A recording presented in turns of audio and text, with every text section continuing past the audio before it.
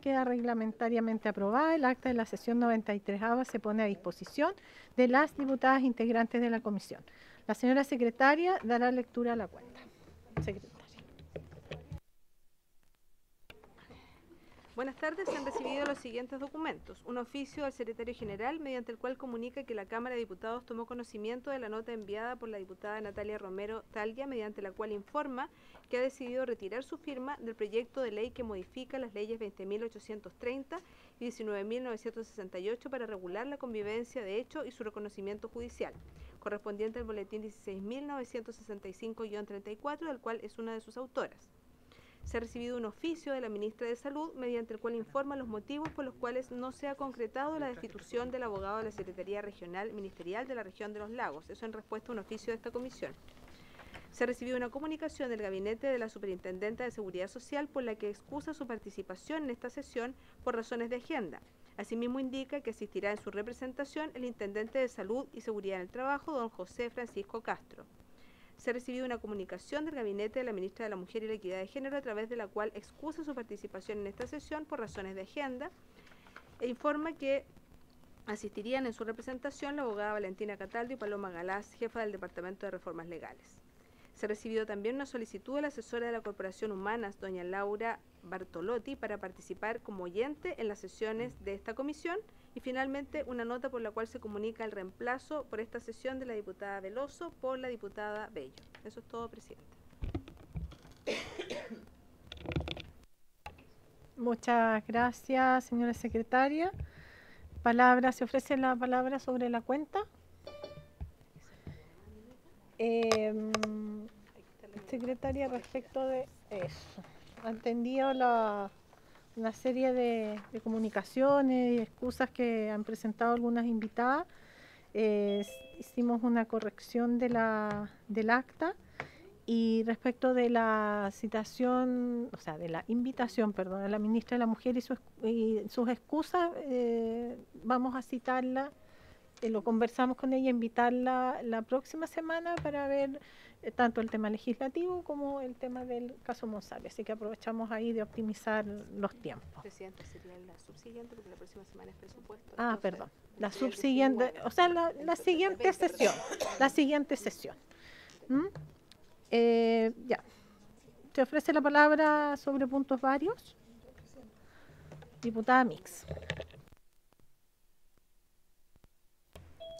Muchas gracias, Presidenta. Aprovecho de saludar a quienes nos acompañan hoy en esta sesión.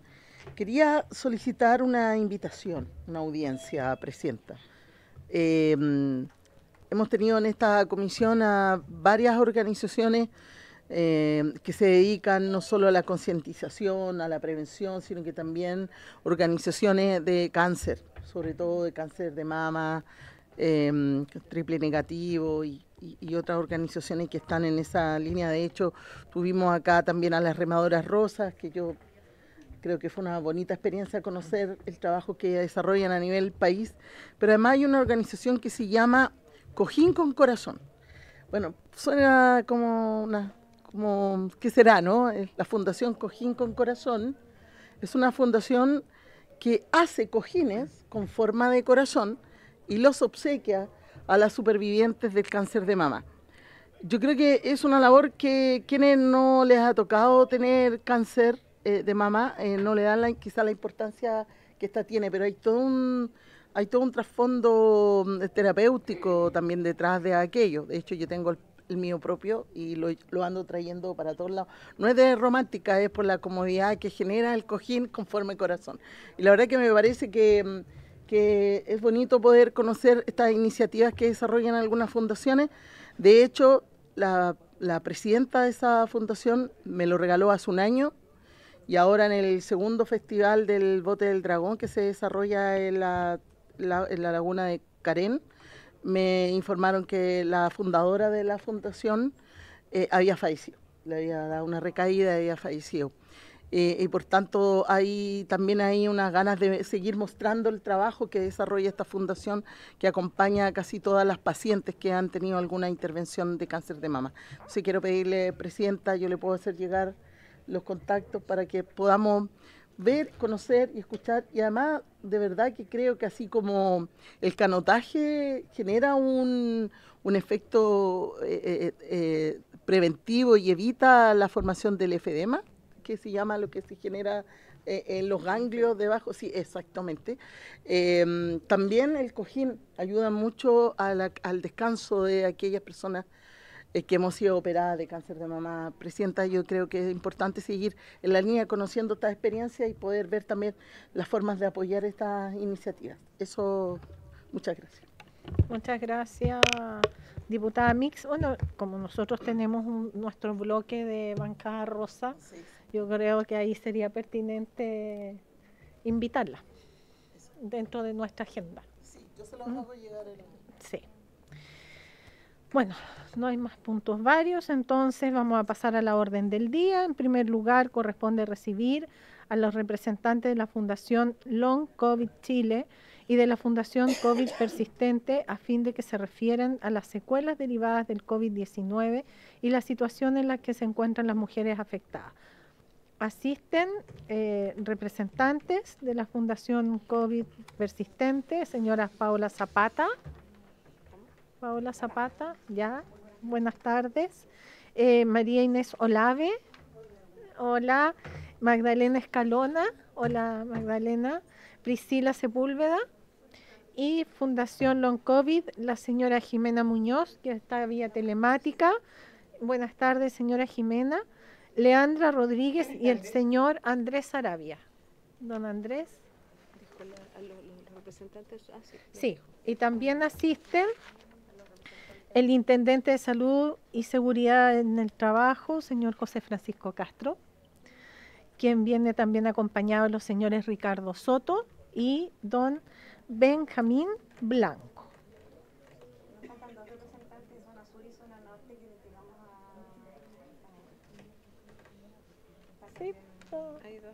Ya.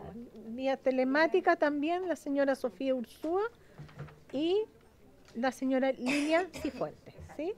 Muy buenas tardes. Presidenta, esta solicitud a la Corporación Humana ahora tiene para ver si, si la, autorizan para participar como oyente en las sesiones de la Comisión. Ah, ya. Antes de que darles la palabra, eh, necesito que lleguemos al acuerdo de la solicitud de la asesora Corporación Humana, la señora Laura Bartolotti, para si puede participar como oyente en la presente sesión. ¿Habría acuerdo? Acordado. Ya, ahora sí. Entonces ahora le vamos a dar eh, en primer término la palabra a la Fundación Long COVID Chile. ¿Su representante quién va a exponer, señora Jimena? No.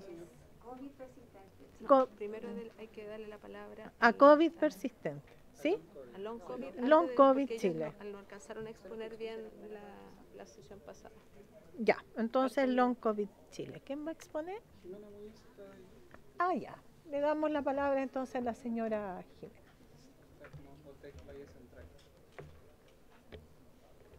Señora Jimena. ¿Partimos nosotros entonces? Sí, señora Jimena. Ah, ya, perfecto. Muchas gracias. Buenas tardes a todos y todas. Mi nombre es Jimena Muñoz. Yo la semana pasada estuve acompañándolos en forma presencial, pero lamentablemente por motivo logístico, parte de la fundación reside en la ciudad de Concepción, así que eh, no siempre es tan fácil para nosotros poder, ¿cierto?, eh, viajar. Así que hoy día me corresponde exponer en forma telemática. Eh, la semana pasada quedamos, ¿cierto?, con cierta exposición y hoy día, ¿cierto?, vamos a, vamos a tratar de poder sintetizar lo que nos pidieron la semana pasada, que era un poco eh, objetivizar, ¿cierto?, eh, lo que nosotros necesitábamos en materia de, eh, de, resumen, ¿cierto?, de las afectaciones que, que están asociadas, ¿cierto?, al long COVID o COVID persistente. la semana pasada también nosotros les entregamos una, una minuta que no sé si ustedes la pueden, la tienen hoy día o comenzamos desde, desde cero.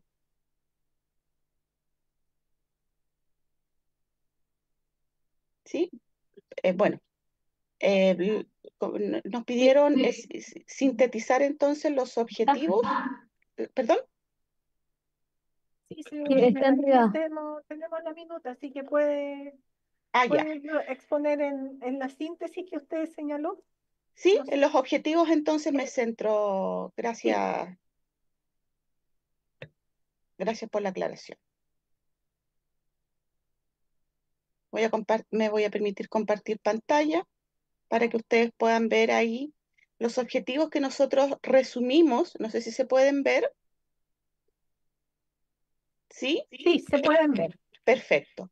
Bueno, eh, eh, nuestros ejes fundamentales es la ampliación, ¿verdad?, del GES 87 que hoy día existe y está, pero considera básicamente, ¿cierto?, los pacientes em, eh, que han estado con COVID en UCI y su posterior rehabilitación, más no considera el diagnóstico de long COVID o COVID persistente.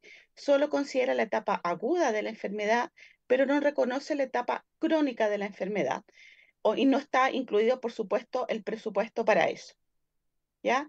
Eh, conforme también a lo que habíamos conversado, ¿cierto? En relación al Ministerio del Trabajo y la suceso y el ICL, ¿cierto? Dependiendo del tipo de trabajador, eh, brinden apoyo a los trabajadores con COVID persistente que han sido desvinculados o apartados de sus puestos de trabajo.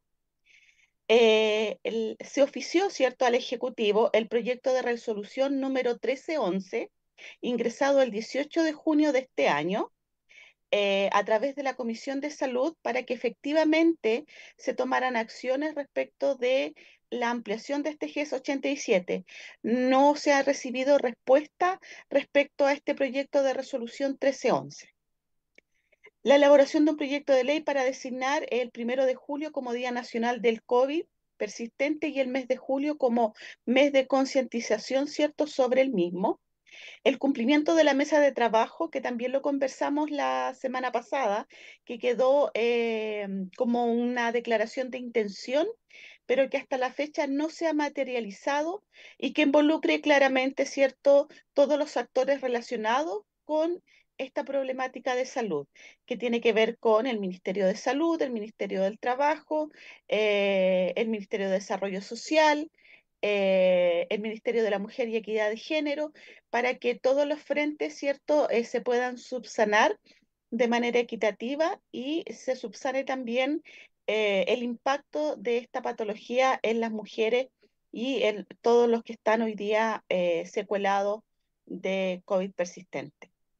Que la Superintendencia de Pensiones reconozca la discapacidad por COVID persistente como una condición que necesita eh, o que, que, sea beneficiario cierto de pensiones, porque hay situaciones de esas dentro del grupo de personas afectadas eh, también que las ISAPRES cumplan con la aprobación y pago de licencias por COVID persistente, sin dar eh, altas prematuras a personas que siguen en proceso de rehabilitación.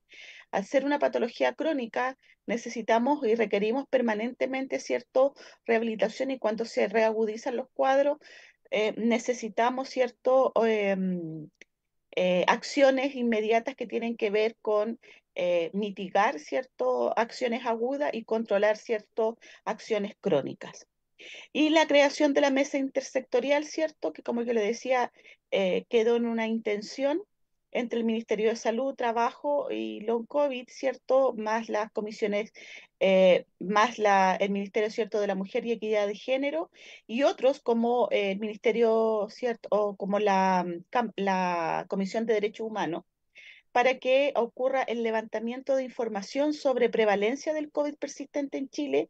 Hoy día no tenemos datos claros y como yo expresé la vez anterior, nosotros hemos tenido que homologar, ¿cierto? Hacer una tasa ajustada eh, del punto de vista epidemiológico para migrar los resultados que se han obtenido en América Latina, en Europa o en países parecidos al nuestro respecto de la tasa de COVID persistente, ya que hoy día no es posible tener ese dato a nivel nacional revisión de la trazabilidad y de la epidemiología de estos casos, reconocimiento laboral y protección de los derechos de las personas afectadas, actualización de las guías y manuales y orientaciones técnicas que van acompañadas al ejercicio, ¿cierto?, de profesionales que diagnostican tratan, rehabilitan a los pacientes portadores de COVID persistente o long COVID y la fiscalización de inclusión y derechos laborales, tal cual como se mencionó también la vez pasada, eh, eh, la mayoría, ¿cierto?, de las personas afectadas corresponden a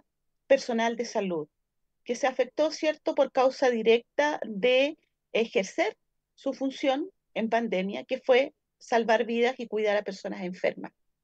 Muchas de esas personas han tenido que mantenerse con licencia por otros cuadros o finalmente, ¿cierto?, han sido sus licencias rechazadas, su pensión de invalidez no ha sido posible o no ha sido otorgada o han sido trámites bastante engorrosos y hoy día se encuentran, ¿cierto?, en una situación de precariedad importante a la hora de solventar su condición de salud y no ha sido posible generar readecuaciones de puestos de trabajo para estas personas afectadas y eh, nosotros podemos tener una estimación de los datos, pero sería interesante saber cuántos de esas personas están hoy día realmente afectadas. Para eso, el catastro que se comprometió el Ministerio de Salud es sumamente importante.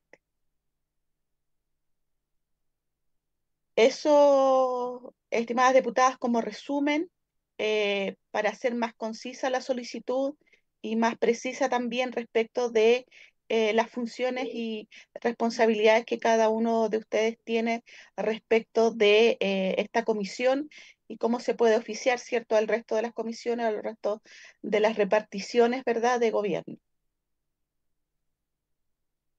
Muchas gracias por su posición. Se abre la palabra. Diputada.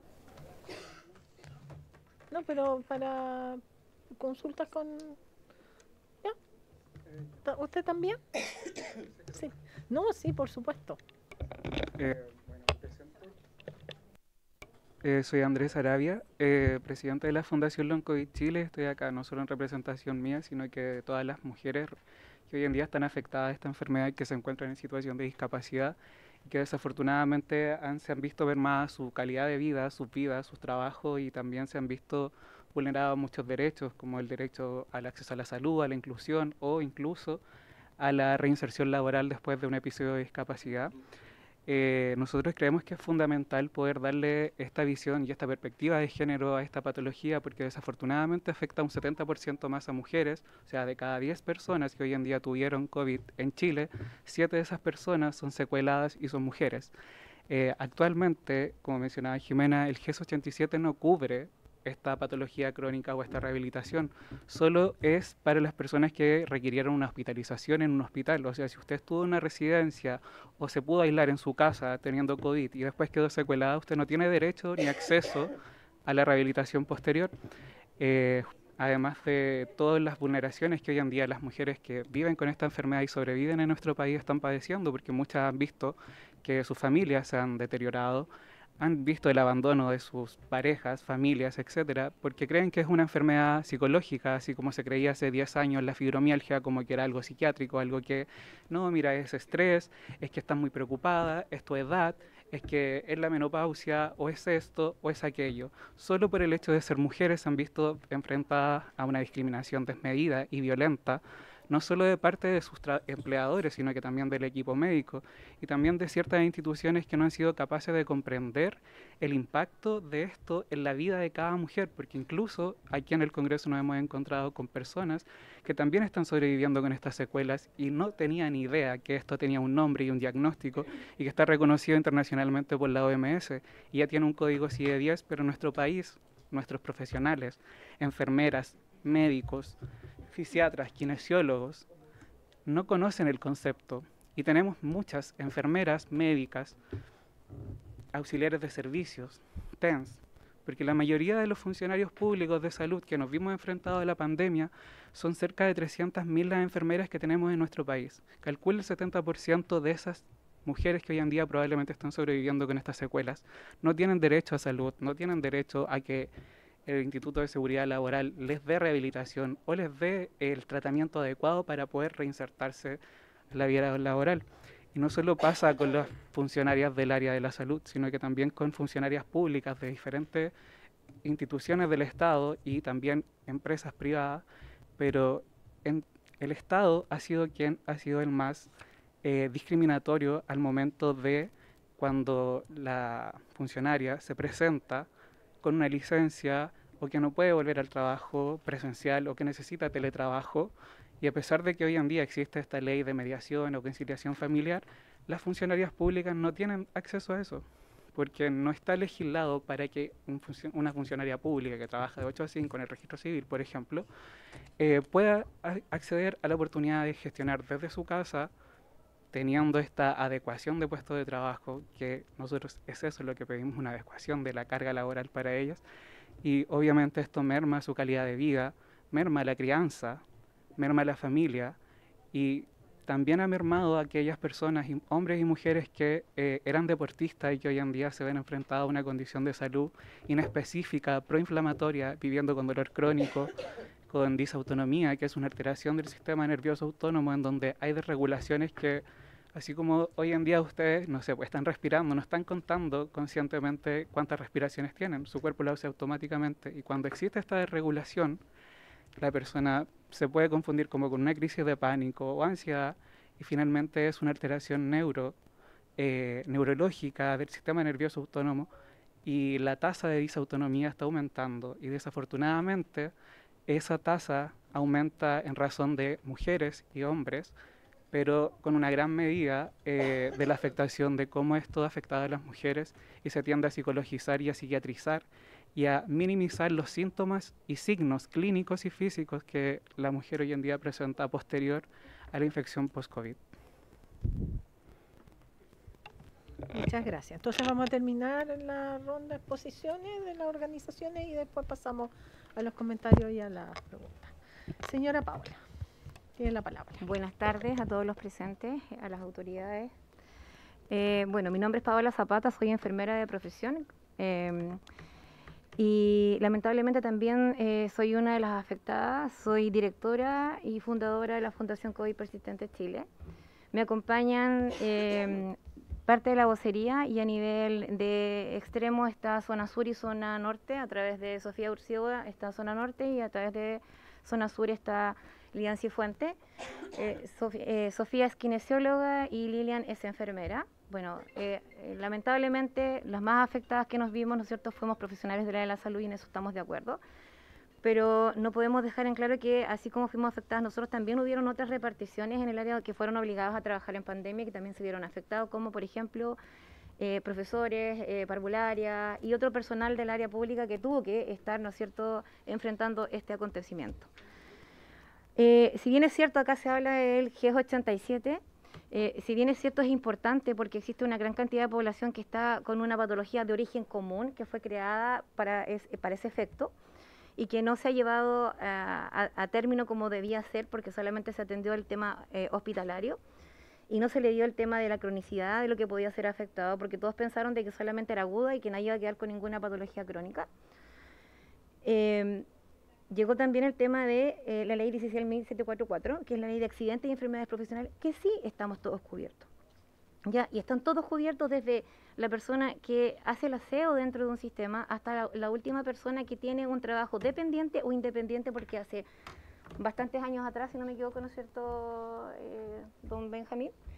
Sale la ley, ¿no es cierto?, que incluye esta, este seguro de los trabajadores, tanto independiente como dependiente, que se nos descuenta dentro de las liquidaciones de sueldo. Entonces, todos los trabajadores en Chile estaban protegidos de alguna manera a través de una mutualidad. Lo que no se hizo efectivo fue que lamentablemente costó que se reconociera el que era una patología de origen laboral y ahí a través de la Subsecretaría de, del Trabajo y Previsión Social sale un documento en el cual se nos dio la protección a todos salió una circular que salió del Ministerio, eh, perdón, del MinSal, si no me equivoco, donde cualquier persona que tenía, ¿no es cierto?, que era del área de la salud, automáticamente se le debía calificar como origen laboral y que no fue así. Del 100% de las personas que se afectaron, solo un porcentaje mínimo fue calificado de origen laboral. ¿ya? Y después nos, nos enfrentamos al otro problema, tenemos claro que el G87 dejó una brecha enorme para los de, cronicidad, pero también tenemos una brecha enorme en el tema de salud laboral como tal y la ley 16.744. ¿Y esto por qué motivo? Porque lamentablemente hoy día las mutuales que eh, debieran estar aquí presentes, que, que, tienen que dar eh, cuenta de lo que están haciendo, tenemos al ISL por parte del área estatal y tenemos a las tres mutuales privadas que es AT, IST y la mutualidad, que lamentablemente hoy día el foco y la mayor cantidad de trabajadores están en AT, ISL o ISL AT, porque ISL no tiene prestaciones clínicas, por lo tanto compra los servicios de las otras. El tema es que la mayoría que fue a denunciar que estaba con síntomas de COVID, muchas veces no se le tipificó la calificación o en otra que es lo peor y lo más grave, se le está ocultando el síntoma y el signo del trabajador. O sea, yo llego con cefalea posterior al COVID, no, esto no es de origen laboral, te dan el alta inmediata y te lo califican como no laboral. Ya, te da una disautonomía y te lo, te lo califican como no laboral. O simplemente tú fuiste porque llegaste con una neumonía bilateral, o, perdón, una neumonía o un cuadro respiratorio sin llegar a neumonía con un infiltrado. Ya, eh, la mutual lo tomó, lo calificó ese punto como tal lo trató por un mes, lo mandó a trabajar y no verificó todas las secuelas o todos síntomas y signos que tenía el paciente. O sea, hoy día sabemos a nivel internacional que el COVID persistente o long COVID, ¿no es cierto? Eh, ya llevamos 200 síntomas y signos. O sea, no estamos hablando de 4 o 5 signos. La mayoría de los que estamos afectados tiene por lo menos 20 síntomas o signos cardíaco, pulmonares, oftalmológico, neurológico, digestivo, eh, músculo esquelético. O sea, lamentablemente este, este virus llegó para hacernos estrago en el cuerpo y nadie lo puede controlar porque hoy día ningún médico en Chile ni en ningún país puede decir que existe una píldora que nos puede decir que nos puede ayudar. Sí nos puede mitigar, sí nos puede controlar lo que no está haciendo hoy día las mutualidades y que solo hemos denunciado en reiteradas ocasiones acá a la suceso. Nosotros hemos hecho una petición enorme y hemos trabajado con la suceso, llevamos cinco meses trabajando lamentablemente no ha sido como hemos como, como los resultados que, quisiéramos, ya eh, porque los trabajadores se han ido agravando en las patologías, ninguno se ha mejorado. Al contrario, todos los hemos agravado. ¿ya? Entonces aquí hay dos cosas que separar. El G87 que ve todos los contagios de origen común y la ley 16.744 que tiene que ver con las enfermedades de origen laboral. ¿ya? Por otro lado, las mutuales están dando, en este caso H y SL, el alta temprana. El paciente está con síntomas y signos persistentes y va la mutualidad, le da alta y lo manda a trabajar. O sea, le expone la vida, la salud mental y la salud física. ¿Ya? Por ejemplo, tenemos al doctor, que acá está la representante, que es su esposa, ya la señora Mané, del doctor Jorge Villalobos, ya que él es oxígeno dependiente y que eh, falta que le vean toda la parte inmunológica, digestiva, que lleva cuatro años con reposo médico, y uno dice, ah, pero cuatro años, pero como si la ley dice 104, ¿no es cierto? Ah, pero es que es funcionario público, y viene un dictamen de Contraloría que dice que ninguna persona que es de origen pública, o sea, que, está bajo la ley 18.834 o la 18.000, ya no me acuerdo mucho los números, eh, que es un funcionario público, aunque pasen las 104 semanas, si este no está recuperado, si este faltan tratamientos pendientes, si faltan exámenes o requerimientos, no se le puede mandar una evaluación de una eh, pensión de invalidez permanente, producto de que es un funcionario público y en ese tiempo, cuando nació ese, ese dictamen, no existía la inclusión laboral.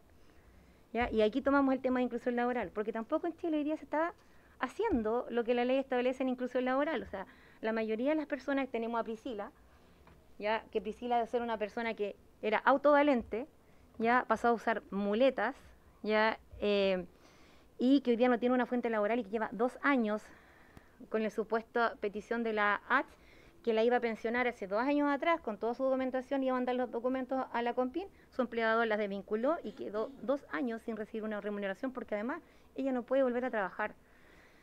No solamente bastó con eso, sino que además AT obligó a Priscila a vacunarse contra el COVID, porque ella no tenía las vacunas, ya causándole shock anafiláctico y tuviendo que hospitalizarla por 10 días en una UCI.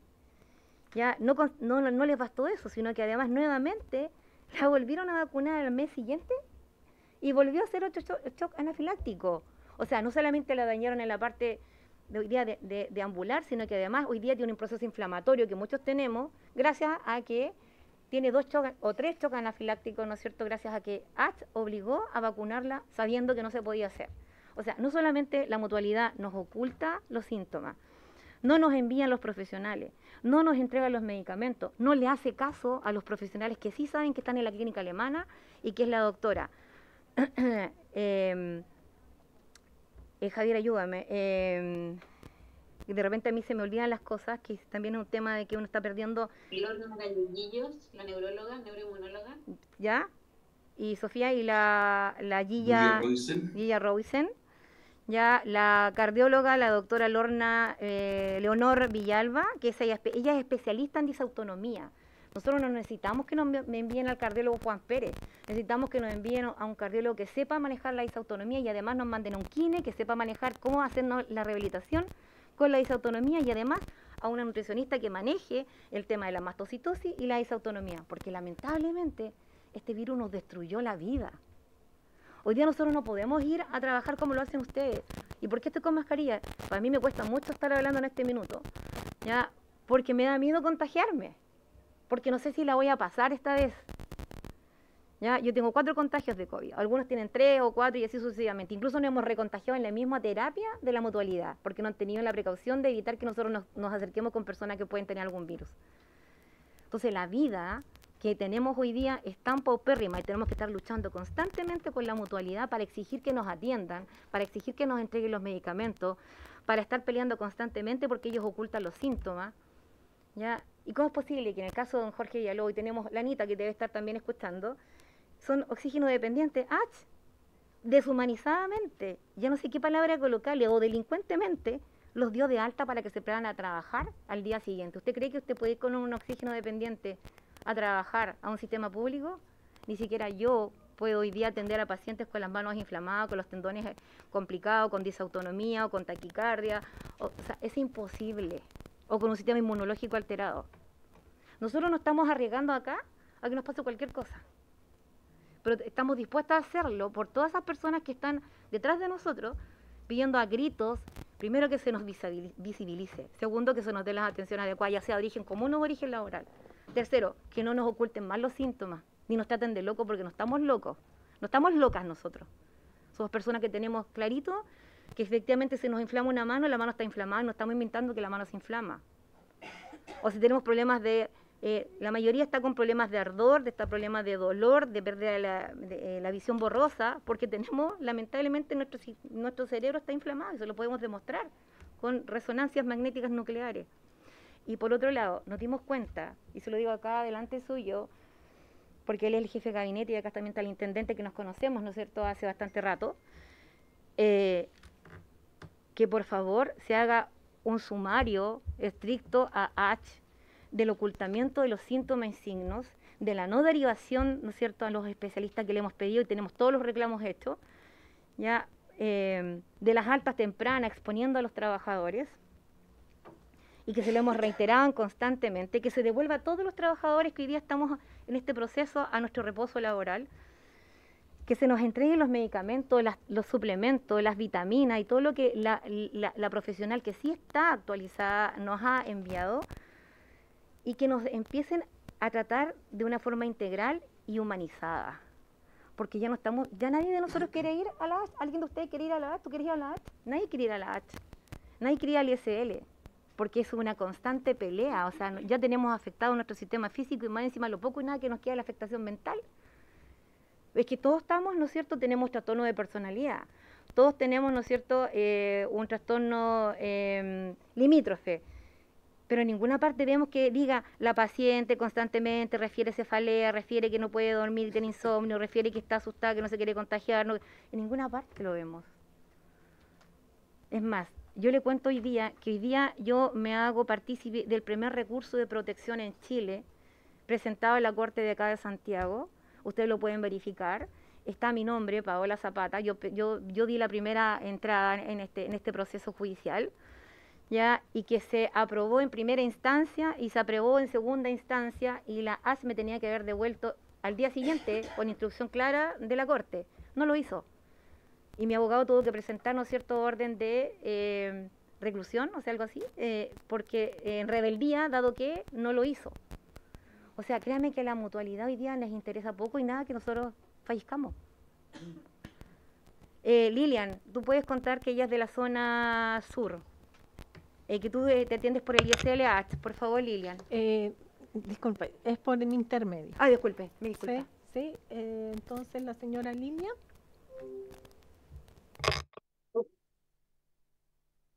Está muteada.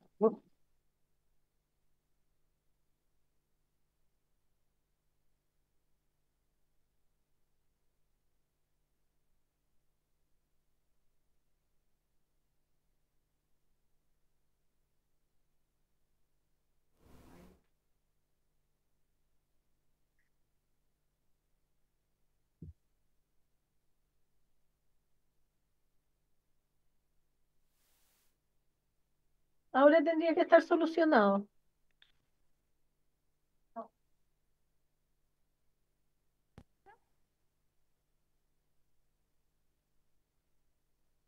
Entonces, ¿sería posible, Sofía Ursúa? ¿Se escucha? Sí, ahí sí. Ah, ya, sí. Eh, buenas tardes a todas las autoridades. Bueno, mi nombre es Lilian Cifuentes, soy enfermera. Eh, me atiendo actualmente en H, también soy ICL, paciente en long COVID. Eh, bueno, en realidad somos 10 o 12 personas que estamos en la zona sur, en Concepción. Casi todas somos trabajadores dependientes del Servicio de Salud Concepción. Trabajamos en el hospital regional. todas nos contagiamos en nuestras funciones en pandemia. Em, lamentablemente, como bien dice Paola, invisibiliza nuestros diagnósticos. Em, en los informes médicos, en las fichas clínicas, en las evoluciones, eh, no sale todo lo que realmente nosotros le relatamos al profesional. Muchas veces ni siquiera nos hacen un examen físico. Yo hace poco pedí mi ficha clínica y me di cuenta de muchas cosas. Hay evoluciones médicas que se repiten por 6, 7, 8 veces donde no hay cambio en la evolución, solamente copiar y pegar, principalmente de fisiatría. En otro caso, eh, que es muy personal, eh, yo tengo esa autonomía, hago bradicardias de 37, 38 latidos por minuto, he tenido síncopes y otras veces presíncope. En el mes de agosto eh, yo tuve un síncope, un presíncope en terapia ocupacional ya hice eh, bradicardia de 37 y luego una taquicardia de 176 latidos por minuto. Por lo tanto, activaron el código azul, me llevaron a urgencia y lo primero que me pregunta la doctora que me vio, la doctora Nicola Nanías de H, usted tiene problemas en su casa, usted está muy nerviosa. Yo le dije, doctora, tiene el computador ahí después que ya me había recuperado un poco porque tengo además una fibrilación auricular paroxística y una taquicardia supraventricular. Por lo tanto, eso me puede durar 15 minutos, 10 minutos y después vuelvo a la normalidad a ritmo sinusial.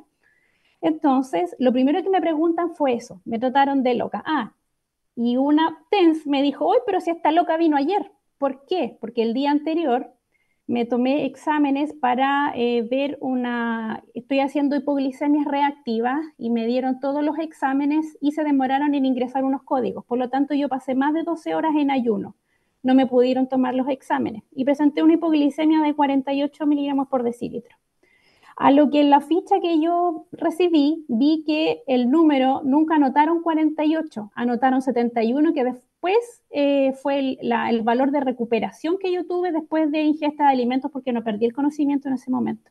En la ficha además dice eh, la evolución de la doctora, componente psiquiátrico importante, teniendo yo mi holter de arritmia donde dice que yo tengo una fibrilación auricular paroxística y que tengo taquicardia supraventricular. Entonces, eh, ¿de qué estamos hablando? Los médicos en H eh, nos tratan de locos y más encima con sobrenombre que lo encuentro eh, demasiado fuerte para pacientes como nosotros que lo hemos pasado súper mal. A mí me dicen long cacho en vez de paciente long COVID lo he escuchado de funcionarios, yo he hecho los reclamos pertinentes y también me dice princesa Disney, porque yo me he desmayado varias veces, así como simulando los dibujos animados, ¿cierto? Donde las personas se desmayan ficticiamente. Entonces, es una falta de empatía tremenda para los pacientes y no me pasa solamente a mí. Yo me estoy poniendo como ejemplo ante ustedes para que entiendan la gravedad de la situación que pasa en H pero a las otras pacientes que también son del hospital regional es la misma situación. Entonces, eh, es, suena tragicómico quizás, pero lamentablemente eh, así nos trata H. Entonces ya cada vez más eh, nosotros nos da miedo ir a H. De hecho, yo el lunes no pude asistir a mi rehabilitación porque sufrí una caída en la ducha, igual tuve una bradicardia. Y eh, preferí quedarme eh, en la casa, llamé para justificarme y todo. ¿Por qué? Porque si voy allá, ¿qué me van a decir? Ah, ya viene esta loca de nuevo. ¿Y qué me van a hacer? Nada, me van a tener como 3, 4 horas esperando y me van a enviar con otra interconsulta a psiquiatría. Porque en ese momento, cuando yo me descompensé, que tuve esa arritmia, eh, yo salí con una interconsulta a psiquiatría en vez de una interconsulta cardiología urgente. ¿Me entienden? No sé si hay algún profesional médico ahí, pero yo me podría haber muerto, fue una negligencia tremenda, podría haberme dado un paro cardio y ahí en el momento. ¿Por qué? Se demoraron en tomarme un electrocardiograma. Cuando yo le dije a la doctora, doctora, ¿me puede tomar un electrocardiograma? No, es que vamos a ver, es que igual te vamos a pasar analgésico. No necesito analgésico. Con un dolor retroesternal tremendo, con el corazón a mil, con irradiación hacia el cuello, o sea, era una negligencia tremenda que nos traten de paciente psiquiátrico cuando realmente yo podría haber hecho un paro cardíaco con el nivel de frecuencia cardíaca que yo tenía en ese momento. Yo he llegado hasta 208 latidos por minuto. Entonces, em, ese, es, el tipo de atención que nos dan en H. Nos da miedo ir, esa es la verdad. Hay insomnio, antes, el, día antes que uno tiene que asistir por lo mismo, porque como con la disautonomía, como bien dice Paola, en cualquier momento nos podemos descompensar. Yo el año pasado hice un reintegro progresivo al trabajo, lo intenté, ¿ya? Pero no fue posible, aguanté tres meses con mucho esfuerzo, tuve varios síncopes y el cardiólogo me dijo, no, no puedes volver a trabajar porque estás exponiendo tu vida. Así que eso es menos lo que puedo decir para que lo tengan como, como ejemplo de todas las cosas que pasan en H. Muchas gracias. Bueno, gracias Lilian por su testimonio. Esta es una situación gravísima. Es que, es que se repiten con todos. Sí, eh, Paola, sí. Ahora lo que quiero hacer, eh, en base a los antecedentes que ustedes nos han entregado, a sus vivencias, no solo personales, sino que también de sus compañeras, eh, quiero darle la palabra al señor intendente para bueno, que nos comente respecto de la situación, porque también estamos conscientes de que han tenido un contacto con, la organización.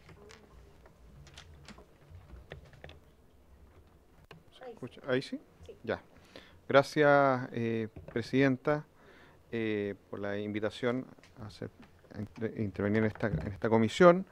Eh, quiero agregar que me, acompañan eh, Benjamín Blanco, jefe de gabinete de la superintendencia, y el doctor Ricardo Soto, que es eh, médico, asesor de la superintendencia y especialista en salud ocupacional.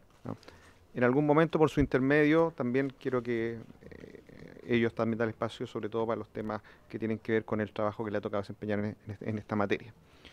Bueno, nosotros como superintendencia hemos, hemos ido eh, abordando progresivamente este, este tema. Eh, por una parte, y hay que reconocer el rol importante que han jugado las organizaciones, ¿cierto? Efectivamente, eh, y Benjamín va a dar cuenta en detalle más adelante, ha habido un trabajo también, no solo con nosotros, sino también con la Subsecretaría de Previsión Social, y además hemos podido responder también ciertos eh, requerimientos que, que, no han llegado también a nivel por la, por la vía parlamentaria, lo cual, eh, de hecho, en el mes de septiembre nosotros recibimos un, requerimiento de la Comisión de Derechos Humanos y Pueblo Originario, eh, en el cual se nos ofició para informar sobre licencias médicas y pensiones de invalidez por secuelas secundarias a vacunas contra COVID y se solicitó información específicamente por uno de los casos que señalaba la, la señora eh, Zapata, por el doctor Jorge Villalobos Zúñiga, acusando una presunta negación del otorgamiento de prestaciones médicas y económicas por secuelas del, del COVID, caso que efectivamente pudimos revisar por los profesionales médicos de la, de suceso. Se le instruyó a la Asociación Chilena de Seguridad, mediante oficio, dejar sin efecta el alta laboral, ah, con fecha 8 de agosto. Había una, una alta prematura en ese caso, mantenerlo en reposo laboral sin solución de continuidad iniciar el proceso de evaluación de la incapacidad permanente enviándolo antecedente al COMPIN. Además, a partir de este caso y de las demás eh, situaciones que se vieron y del oficio respectivo, instruimos a los organismos administradores, como bien decía la señora Paola Zapata en el caso nuestro, que ISL, Asociación Chilena de Seguridad, IST y Mutual de Seguridad de la Cámara de la Construcción, al eh, remitir un listado de los trabajadores con diagnóstico de long COVID, indicado, indicando el estado de avance de su evolución, se ha iniciado el proceso de evaluación por incapacidad permanente y las secuelas establecidas. Pero además, haciendo uso de nuestras facultades fiscalizadoras, se, instruyó que ellos registren estos casos y hagan un envío mensual de un listado actualizado con los casos de long COVID eh, laborales a los distintos organismos administradores que nos deben remitir a nosotros como suceso. Producto de eso, logramos consolidar la, información que nos remitieron los organismos administradores, eh, estos cuatro que, les mencioné, eh, llegándose a una totalidad de 490 casos, de los cuales 286 corresponden eh, a mujeres, efectivamente hay más mujeres, 204 eh, a hombres, y un detalle que después incluso les puedo dejar las cifras, pero con secuelas de esos 490, un total de 90, derivados a Compino un total de 68, en espera de derivación un total de 33, y con tratamientos pendientes un número de 99 casos. En paralelo eh, a eso, hemos estado eh, eh, revisando los casos que nos han ido remitiendo las organizaciones, en los cuales, tema que además hay que señalar una, observación, que son, al ser temas médicos, eh, necesariamente además se requiere el consentimiento de la persona, porque se mantiene información reservada, así que en base a eso hemos estado operando también. Y a partir de eso hemos ido emitiendo algunos casos. Yo les conté al doctor Villalobos. Recientemente también sacamos el oficio respecto del caso de doña eh, Sofía Ursúa Alfaro, en el cual nosotros ahí eh, incluimos a la Asociación Chilena de Seguridad, si no me equivoco, ¿cierto? El, efectivamente, derivar a la conquín correspondiente al antecedente de la señora, para realizar la evaluación de incapacidad permanente en, ese caso. Entonces, haciendo uso de nuestras atribuciones, por una parte hemos estado consolidando la información, por otro hemos tratado de ir avanzando en los casos que nos han ido llegando por parte de las organizaciones y efectivamente hay un requerimiento en, uso de lo, que la señora Zapata llamaba un, sumario respecto de, de los organismos administradores. Nosotros, respecto a los organismos administradores de la ley 6744, como suceso, somos reguladores y fiscalizadores. Tenemos esas dos herramientas que a la vez son, son eh, eh, complementarias. Y eh, efectivamente, nosotros podríamos decir que estamos en la primera fase de fiscalización e investigación, que es recopilar antecedentes, hacia la elaboración de eventualmente eh, un plan de fiscalización respecto de esta situación, particularmente sobre uno de los temas, y aquí quiero dejar después a, Ricardo Soto por su intermedio, presidenta, como médico explique en mayor detalle, a lo que tiene que ver con las eh, altas prematuras, porque en casos que no han derivado hemos visto que efectivamente esa situación eh, se ha producido. Pero esto también hay que vincularlo con que es muy relevante lo que tiene que ver con eh, la actuación del Ministerio de Salud, que el año 2023 publicó la resolución exenta 1271, que regula la evaluación de incapacidad permanente por las secuelas de la enfermedad de COVID, lo que se conoce como el baremo. Y ahí, si me permite, Presidenta, quiero dejarla con Ricardo Soto para que nos explique con mayor detalle. Gracias, eh, don José Francisco. Entonces, tiene la palabra, por favor don Ricardo. Así. Muchas gracias, Presidenta. Eh, el desarrollo de este baremo, que en el fondo es la metodología para establecer las secuelas, en este caso por COVID-19, y poder eh, ponderar la gravedad de esas secuelas y por lo tanto el porcentaje de incapacidad que corresponde otorgarle, eh, fue un proceso difícil y que tomó bastante tiempo. Difícil porque es una enfermedad nueva, no conocida parte siendo una enfermedad infecciosa, infectocontagiosa, pero bien sabemos que no es una enfermedad que comprometa exclusivamente a la persona por la infección. Es una enfermedad que se comporta de una manera además muy extraña en comparación a otros coronavirus que se conocieron en el mundo. Fundamentalmente hubo dos epidemias en el mundo previo al COVID-19. Eh, una de ellas por el SARS-CoV-1, que fue la zona eh, del sudeste asiático principalmente, que fue limitada a esa región. La otra es el MERS, que fue un coronavirus que afectó la zona de, la cuenca del Mediterráneo, que también fue acotada a esa región geográfica, pero no fue así con el COVID-19 que se transformó en una pandemia.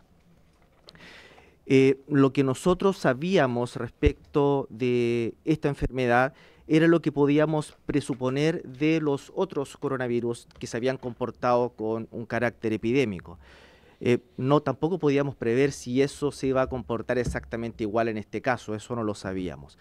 Pero lo que sí pudimos determinar después de estudiarlo en conjunto con el Ministerio de Salud, nosotros fuimos directos colaboradores para poder desarrollar esa resolución exenta del Ministerio de Salud, eh, pudimos descubrir que no solamente es un problema infeccioso, sino que también tiene una repercusión sistémica respiratoria, cardiovascular, neurológica, psiquiátrica, musculoesquelética y de los órganos de los sentidos, por lo menos, por lo menos. Hay algunas otras manifestaciones, hay, hay, algunas otras manifestaciones endocrinas y metabólicas también. Entonces es una enfermedad muy compleja en su manifestación. Eh, de hecho, se pensó en algún momento que exclusivamente los problemas graves podían ocurrir en personas que tuviesen, o mejor dicho, las secuelas, en personas que tuviesen una manifestación grave de la enfermedad. Pero eh, con el tiempo se fue encontrando que eso no era así necesariamente. Personas que podían tener un cuadro leve, eh, de todas maneras podrían presentar un cuadro persistente y su manifestación es muy errática. Uno no tenía tanta claridad para poder determinar cómo se iba a comportar en el futuro. Nosotros en ese baremos que salió por, eh, por la, a través del Ministerio de Salud, sí se pudo plantear una, que la evaluación primero debía ser integral, que debía estar a cargo de un médico tratante, cosa que eh, difícilmente se produce en, otros casos, porque el médico tratante ve la patología específica y en eh, contadas ocasiones se requiere de la intervención de otros profesionales, de otros especialistas. Eh, en este caso, la idea es que tenga un médico tratante, de modo que ese médico tratante pueda hacer el nexo de las distintas especialidades para poder tener una evaluación integral de la persona. Lo que se basó ese, ese baremos es que, dado que nosotros nos teníamos que regir a la norma y la norma no tenía contemplado, el decreto 109 en este caso no tenía contemplado una enfermedad de carácter pandémico y que tuviese un compromiso de múltiples sistemas, eh, tomamos lo que estaba señalado en el decreto 109 del Ministerio del Trabajo y Previsión Social y que se refiere al respecto que eh, para las infecciones o para las enfermedades infectocontagiosas ocupacionales que están descritas ahí en forma genérica, correspondía que eh, si causaba una incapacidad para el trabajo específico, se pudiese ponderar del 40 al 65% de incapacidad, que da derecho a una pensión parcial, y si era esa incapacidad causante de una incapacidad para cualquier tipo de trabajo, pasar al tramo del 70 al 90%, que da derecho a la persona a una pensión total, a una pensión completa. Y teníamos que determinar cómo íbamos a establecer eso.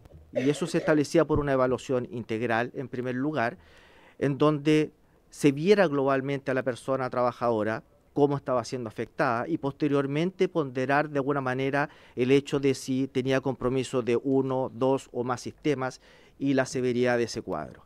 Y eso está bastante claramente regulado en ese baremo y ese fue el trabajo que desarrollamos y que lamentablemente por la complejidad no pudo salir antes, que eso hubiese sido lo ideal.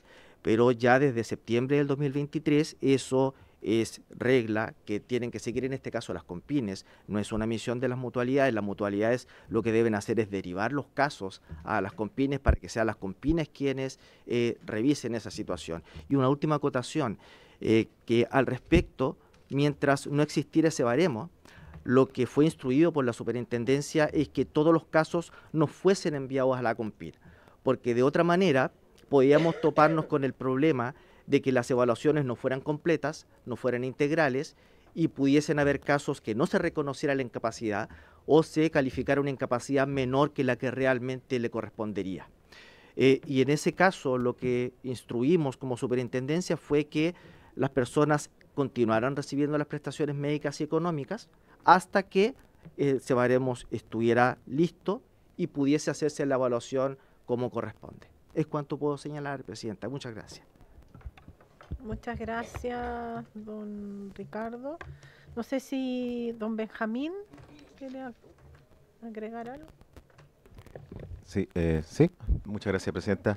Muy breve, eh, efectivamente acá, como hemos visto, es un tema complejo, es un tema de evidencia científica que se cruzan los, las evidencias personales con evidencia científica no tan no tan robusta aún, digamos, por lo, lo, y lo que sí hemos hecho, como ha mencionado la señora Zapata y, y, otras personas con las que nos hemos encontrado, que tenemos un trabajo constante, hemos tratado de buscar eso, de tal manera de nutrir yo diría dos cosas. Uno, lo que tiene que ver con fiscalización. Efectivamente, el plan de fiscalización para realizar todos estos casos, que no, evidentemente no, no han mencionado cosas que son impresentables en términos del trato paciente, eh, médico-paciente, enfermera-paciente, y por lo tanto es una cosa que tenemos que eh, constantemente estar revisando el caso a caso. Y lo otro es considerar que efectivamente, como, como mencionaba el intendente, tenemos de la estadística 400, casi 500 casos, y hoy día estamos yendo al caso a caso ya de los 20 más complejos. Y eso hace que nos encontremos con casos eh, médicamente complejos, socialmente complejos y que por lo tanto requieren cierto una, un, caso a caso en la visión, como fue el caso del doctor Villalobos, de la, de la señora Ursúa. Entonces, eh, primero, estamos trabajando para, hacer, para, para poder seguir solucionando los casos a caso, que, es la urgencia que requiere, y efectivamente ir a fiscalizar a, la, a las mutualidades. Y para eso para nosotros es muy importante seguir en contacto con la Fundación. Nosotros estamos constantes y ante cualquier requerimiento estamos ahí, vía Subsecretaría de Previsión Social. Yo diría que, estamos dentro de lo que podemos hacer haciendo lo que se hace. me gustaría mencionar que eh, nosotros atendemos alrededor de 180 mil reclamos al año. Entonces, cuando nos vamos al caso específico, son 20 casos que son que los tenemos que ver y lo estamos viendo hoy día a nivel de superintendencia al más alto nivel para poder solucionarlo por, la urgencia que tienen, eh, es, complejo. Entonces, eh, pero sí, agradecer, ¿cierto? Que, que, siempre está esta instancia de poder conversar con la organización y que nos presenten los casos y irlos solucionando uno a uno porque son urgentes. Solo eso, Presidenta, muchas gracias. Y vamos a solicitar que sean breves porque además tienen eh, que intervenir las diputadas que me soliciten la palabra y después tenemos que continuar con el otro punto de la tabla. Así que por favor, señora Paola. Yo quiero eh, agradecer esta atención, pero eh, no estoy de acuerdo con lo que acaba de presentar don Benjamín. Hemos tenido ya muchas reuniones, por lo menos siete lobbies anteriores, y le hemos entregado todo lo que ellos han necesitado. Nosotros tenemos alrededor de 30 personas que están con todos sus antecedentes para que ellos definieran Llevamos cinco, siete, entre 5 a 7 meses, si no me equivoco. Y los, los, trabajadores y pacientes no podemos seguir esperando que ellos se pongan de acuerdo para definir. Lo que nosotros necesitamos es que efectivamente, si la persona presenta un síntoma de cefalea post-COVID, se le deriva al neurólogo. Si la persona presenta cuadros diarreicos, se le deriva, ¿no es cierto?, al gastroenterólogo. No podemos estar esperando, y como dice don Benjamín, que no existe evidencia, la evidencia se la puedo mostrar, don Benjamín, existe evidencia. En Estados Unidos hay cinco clínicas clínicas de COVID persistente en Estados Unidos, solo para COVID persistente.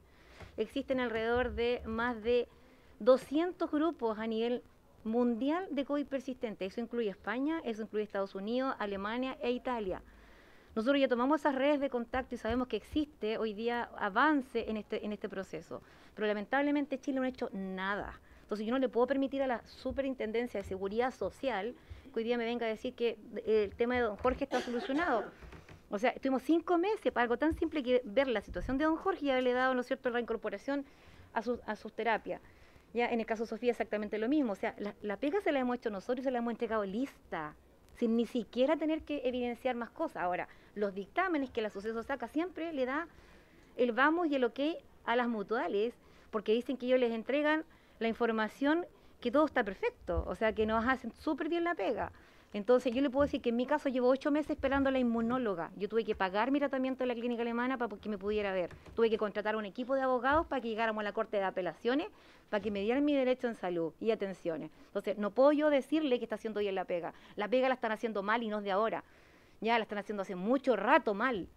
Y se los he repetido en todas las reuniones. porque no solamente el COVID persistente, las altas tempranas vienen de hace mucho rato. Entonces, entonces lamentablemente, nosotros no podemos decirle que hoy día estamos conformes con lo que me esté diciendo que don Jorge o Sofía. Tenemos 25 trabajadores esperando que se les den una atención de calidad. Todos los, todos los pacientes COVID tienen que pasar por neurólogo. Todos tienen que hacerle una resonancia magnética nuclear porque todos estamos con pérdida de sustancia blanca y con algunas glías que son pequeños accidentes cerebrovasculares. señora Paola, pero a ver, nosotros, ustedes tienen su espacio, tuvieron su espacio para exponer, eh, la superintendencia también, eh, pero nosotros no podemos hacer esto un diálogo como una, confrontación entre ustedes y, el organismo público. Em, porque nosotros entendemos la situación terrible que, ustedes están pasando. Eh, yo empatizo absolutamente con ustedes, porque yo también tengo un caso muy cercano que le sucedió, eh, que tiene estas secuelas también COVID, profesional de la salud. ¿ya? pero nosotros no podemos estar eh, confrontándonos, ¿me entiendes? O sea, esa no es nuestra labor. Eh, nuestra labor es escucharlos, atender, acercarnos a las entidades también, cómo poder mejorar los procesos. Eh, yo veo aquí una disposición por parte de, de la superintendencia, obviamente que siempre hay posibilidades de mejorar los procesos especialmente frente a situaciones eh, nuevas, porque eso es lo, más lamentable de todo, que como que están aprendiendo. Ensayo-error aquí, eh, lamentablemente, porque esto era un fenómeno que antes no existía. Pero estamos conscientes y nosotros claramente tenemos que velar dentro de nuestro rol fiscalizador de que el Ejecutivo y sus distintos organismos, instituciones, eh, hagan su trabajo de la, de la mejor forma. ¿ah?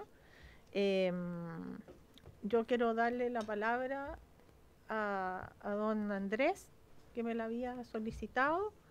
Eh, acá, a ver, el tema es que eh, usted, ¿de qué organización viene, señora?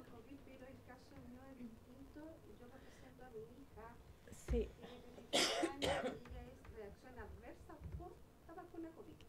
Sí, sí, sí, lo entendemos todo lo que han hablado aquí los señores no está.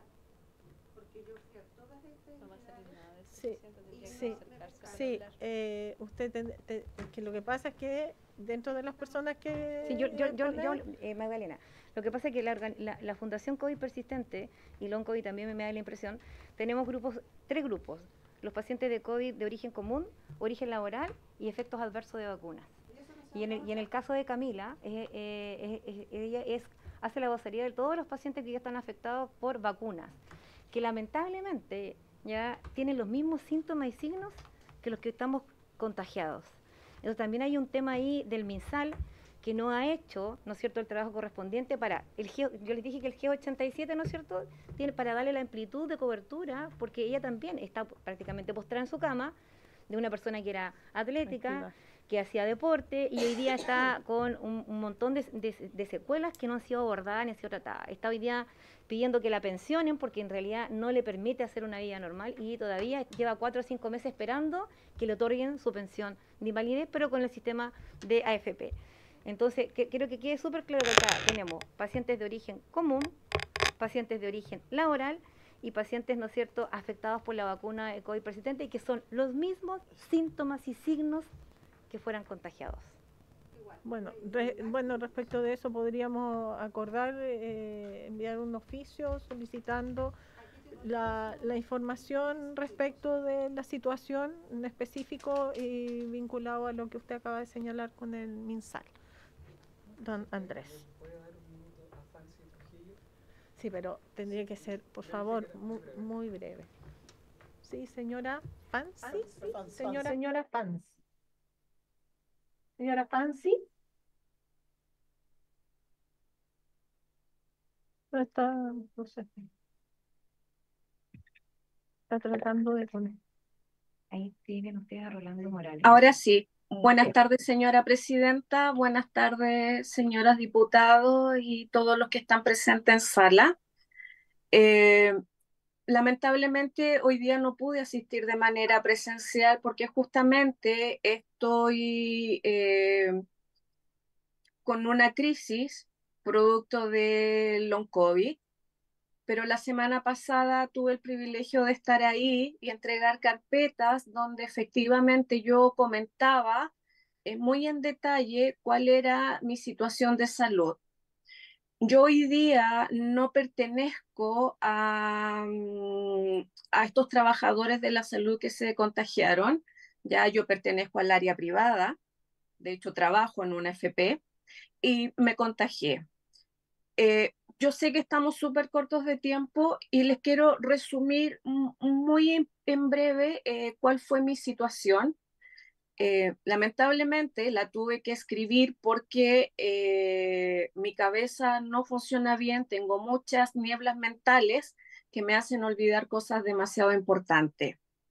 Ya, bueno, todo en mí comenzó en, el, en abril del 2022 cuando contraje COVID por primera vez y comencé a sentir eh, cansancios para poder realizar mis actividades.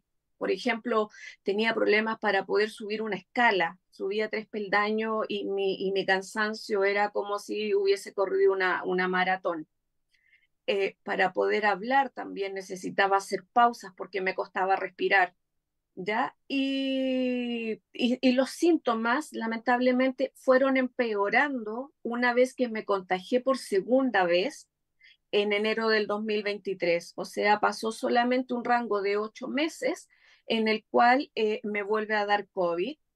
Y si bien yo no requerí de hospitalizaciones en ningún caso y pasé mis convalecencias en casa, después de la segunda infección, mi fatiga y mis cansancios eh, fueron mucho más agudos, limitando inclusive mi movilidad y capacidad para realizar mis tareas de, manera diaria. Eh, logré conseguir eh, que me vieran especialistas porque escuché por ahí que decían que uno tiene un médico que lo puede evaluar. No es así. Lamentablemente, el long COVID con la disautonomía ya afecta por distintos eh, lados por los cuales hoy día, por ejemplo, yo me tengo que apoyar por cardiólogo, reumatólogo, kinesiólogo, eh, terapeuta ocupacional, eh, psicóloga, psiquiatra, ¿ya? Y lamentablemente, como no es una enfermedad reconocida, ya tenemos que de nuestro bolsillo, ¿cierto? tener que asumir todos esos costos. Y lamentablemente todo esto es de manera particular. Entonces, el costo en médico, el costo en medicamento son demasiado elevados.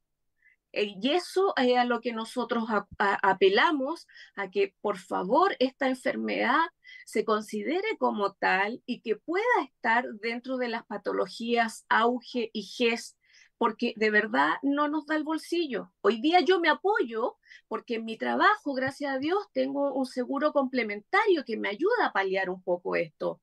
Pero por el periodo prolongado que yo tengo de, licencia, puede ser que yo me quede sin trabajo y voy a perder ese apoyo. Y de ahí claramente va a ser imposible que yo pueda seguir mi tratamiento apelé a, la pensión de invalidez, la cual me fue rechazada porque consideraron que mi desautonomía era solo un 20%. Tengo mi credencial de discapacidad y estoy apelando nuevamente ante la comisión de que puedan reevaluar mi, mi situación de invalidez porque de verdad hoy día estoy muy limitada, tanto así que hoy día no pude ser capaz de asistir presencialmente allá como lo tenía presupuestado.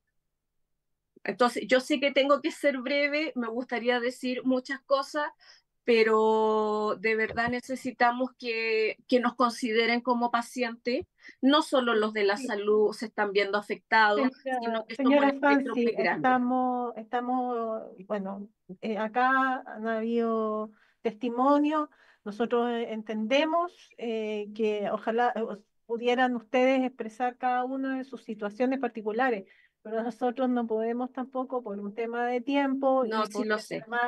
Hay dos organizaciones que nos solicitaron presentar. Generalmente las organizaciones tienen sus representantes, y aquí están, han tenido su espacio. Y bueno, acá también tenemos a la superintendencia porque también es uno de los temas que ya se habían planteado anteriormente. ¿Ya? Eh, yo quisiera dar la palabra entonces, diputada Olivera y después diputada Mix. Muchas gracias, Presidenta. Saludo al superintendente y a quienes le acompañan. También a las organizaciones. Ya hemos tenido la oportunidad de escuchar anteriormente en otra sesión, ¿cierto?, respecto de este tema. Eh, también de manera personal recibí a las organizaciones, al igual que la diputada Tello. Por lo tanto, le agradezco a usted que, esté, que hoy día podamos estar eh, hablando sobre este tema. Eh, Presidenta, yo tomé a punto eh, puntos respecto de algunas cosas que em, plantearon, que, creo que son súper importantes. Em, yo valoro que estén las autoridades presentes porque no siempre se da. Entonces, en un tema tan importante, em, porque además es urgente, ellas han estado en este Congreso en otras comisiones, ya pasaron por salud, por trabajo, por derechos humanos, o sea, han recorrido otras, eh, otras comisiones para ser escuchadas y no se han encontrado con, a lo mejor, con la misma recepción que han tenido desde, este, desde esta comisión. Em, Presidenta, yo eh, creo que este sí es un tema que debiese eh, contar con una política pública. Eh, soy una de las personas de este Congreso que quedó con secuelas del COVID y eso que yo no estuve hospitalizada nada. Pero lo he comentado acá con algunos colegas, yo era deportista de alto rendimiento y hoy día no puedo. O sea, hoy día, hoy día mismo ando con una crisis de asma y estoy con mi inhalador porque lamentablemente esta cuestión de repente te agarra y días que andas peor que otros. Entonces cuando ellas, ellas describen los síntomas, yo las comprendo porque yo pasé, me fui a recorrer todos los médicos que tenía que recorrer, cardiólogo, partí por el cardiólogo porque subía dos pisos y terminaba como que se me mandase un pique de 100 metros. Eh, reumatólogo, neurólogo, o sea, no se imaginan, por eso cuando relatan todo lo que han hecho, yo las entiendo perfectamente. Eh, procesos inflamatorios que de un día para otro uno amanece todo inflamada con reacciones de heridas en la boca, o sea, hay un sinfín de cuestiones que uno va presentando eh, de hecho, yo hoy día mismo ando con mucha picazón, ando muy bloqueada. Entonces, eh, creo que es un tema que sí se tiene que tratar, eh, que sí se tiene, porque además ellos son trabajadores del área de la salud que lamentablemente ni siquiera han tenido el espacio para poder seguir desarrollando sus labores como siempre lo, lo hicieron. Presidenta, yo le voy a pedir, para no extenderme tanto, eh, que nosotros, en eh, la medida que podamos, vayamos revisando todo lo que ellos mencionaron, sobre todo lo que tiene relación con la salud laboral, eh, saber qué es lo que está pasando con la mutual, con la H, que creo que son temas que hay que, hay que revisar. Em, me gustaría si nos pueden compartir ese baremo que ustedes mencionaron para poder estudiarlo, para poder leerlo, saber de qué se trata. Y Em, yo la verdad es que podemos tomar contacto a lo mejor de manera personal con la persona que vino y eh, nos expuso el caso de las vacunas, pero también ver eh, de manera eh, personal respecto de las pensiones de invalidez que han solicitado y que lamentablemente no se han no se han solicitado. Y yo creo que sí, Presidenta, que nosotros podemos a lo mejor levantar el tema sobre las patologías auge y el GES, para ver la posibilidad hablarlo con las autoridades y ver si existe, por último, que esto se vaya tratando de a poco, o sea, que vaya incluyéndose a lo mejor como un piloto, no lo sé, ahí las autoridades tienen más clara la película, creo yo. Y yo, Presidenta, sí me gustaría que en las próximas eh, sesiones o en la próxima sesión que podamos recibir e invitar a Acá el otro día las organizaciones mencionaron a una doctora, médicos que están en la clínica alemana, y que ellos han llevado eh, estos temas adelante, me imagino que tendrán estudios, porque claro, podemos hablar de cinco clínicas en Estados Unidos y todo lo que hay hoy día a nivel mundial, pero es bueno saber lo que hay en, lo que hay en nuestro país, qué es lo que tenemos en nuestro país y por lo que han, comentado las organizaciones, en la clínica alemana están hoy día algunos especialistas o médicos tratando eh, levantando diagnósticos sobre este tema, que sería súper bueno conocer sobre eso. Le voy a pedir a las organizaciones que después nos entreguen los contactos, los nombres, para que nosotros las podamos invitar y le pido, Presidenta, que tomemos el acuerdo para eh, considerarlo y tener los invitados. Eso, Presidenta, muchas gracias. Gracias, diputado Olivera, diputada Mix. Pues tomamos, to- pero tomemos inmediatamente el acuerdo. Bueno. Acordado. Sí. Ya. Ay, son varias cosas en realidad, porque primero, obvio, agradecer a las organizaciones. Yo no tengo ninguna duda que si no fuese por la existencia de ellas, hoy día no estaríamos seguramente teniendo la posibilidad de, no solo de nosotros conocer la situación, sino que seguramente de que no hubiese llegado a, las instancias gubernamentales. Pero me pasan varias cosas con esto. Primero que como nos encontramos a tres tipos distintos, ¿no? Uno, uno en el ámbito laboral, de, de- sobre todo por aquellos trabajadores y trabajadoras eh, que lo adquieren en, el ejercicio de, su, de sus funciones. Por otro lado, el usuario común, el ciudadano que quizás fue muy seguido al hospital o al CEFAM y adquirió eh, el virus. Y por otro lado, eh, tenemos el caso de las vacunas. Entonces, eh, también les pido que en eso nos ordenemos un poco, porque el abordaje es muy distinto, es muy distinto, porque yo podría decir, ya, para el primer caso, que creo que es el más masivo, por lo que hemos visto hasta ahora, que son precisamente aquellos trabajadores y trabajadoras que estuvieron sobreexpuestos al virus y que lo adquirieron en más de una oportunidad, nos ponen en varios escenarios. Primero, porque hay que buscar a quién colgarle el cascabel, ¿no? Entonces, para saber a quién hay que colgarle el cascabel y que finalmente sea quien tome las decisiones, porque la superintendencia lo que va a hacer es que va a fiscalizar frente a las denuncias, frente a cada denuncia que nosotros hagamos, de tal o cual mutual, ellos van a reaccionar en función de la ley, los van a multar, los van a, a, ¿verdad?, a ordenar, tener un tipo de actitud de gestión o respuesta, pero más allá la superintendencia no tiene facultades para ello. Entonces, yo, Presidenta, creo que aquí hay varias cosas. Escuchamos la vez pasada a la subsecretaria eh, de Salud que nos explicó todo el procedimiento de ingreso al GES. Ustedes saben que no es fácil, es una decisión que se toma con tiempo, hay evaluación de costos para ingresar. Una patología al GES ya están relativamente resueltas. De hecho, nosotros estamos detrás de que se ingrese eh, el, el cáncer triple negativo, la reconstrucción mamaria, y ha sido súper complejo porque hay garantías en la ley que no están cubiertas, como la garantía de la oportunidad y otras cosas. Entonces, a mí me parece, Presidenta, eh, que igual no, no, no conozco las respuestas que ustedes recibieron en las otras comisiones.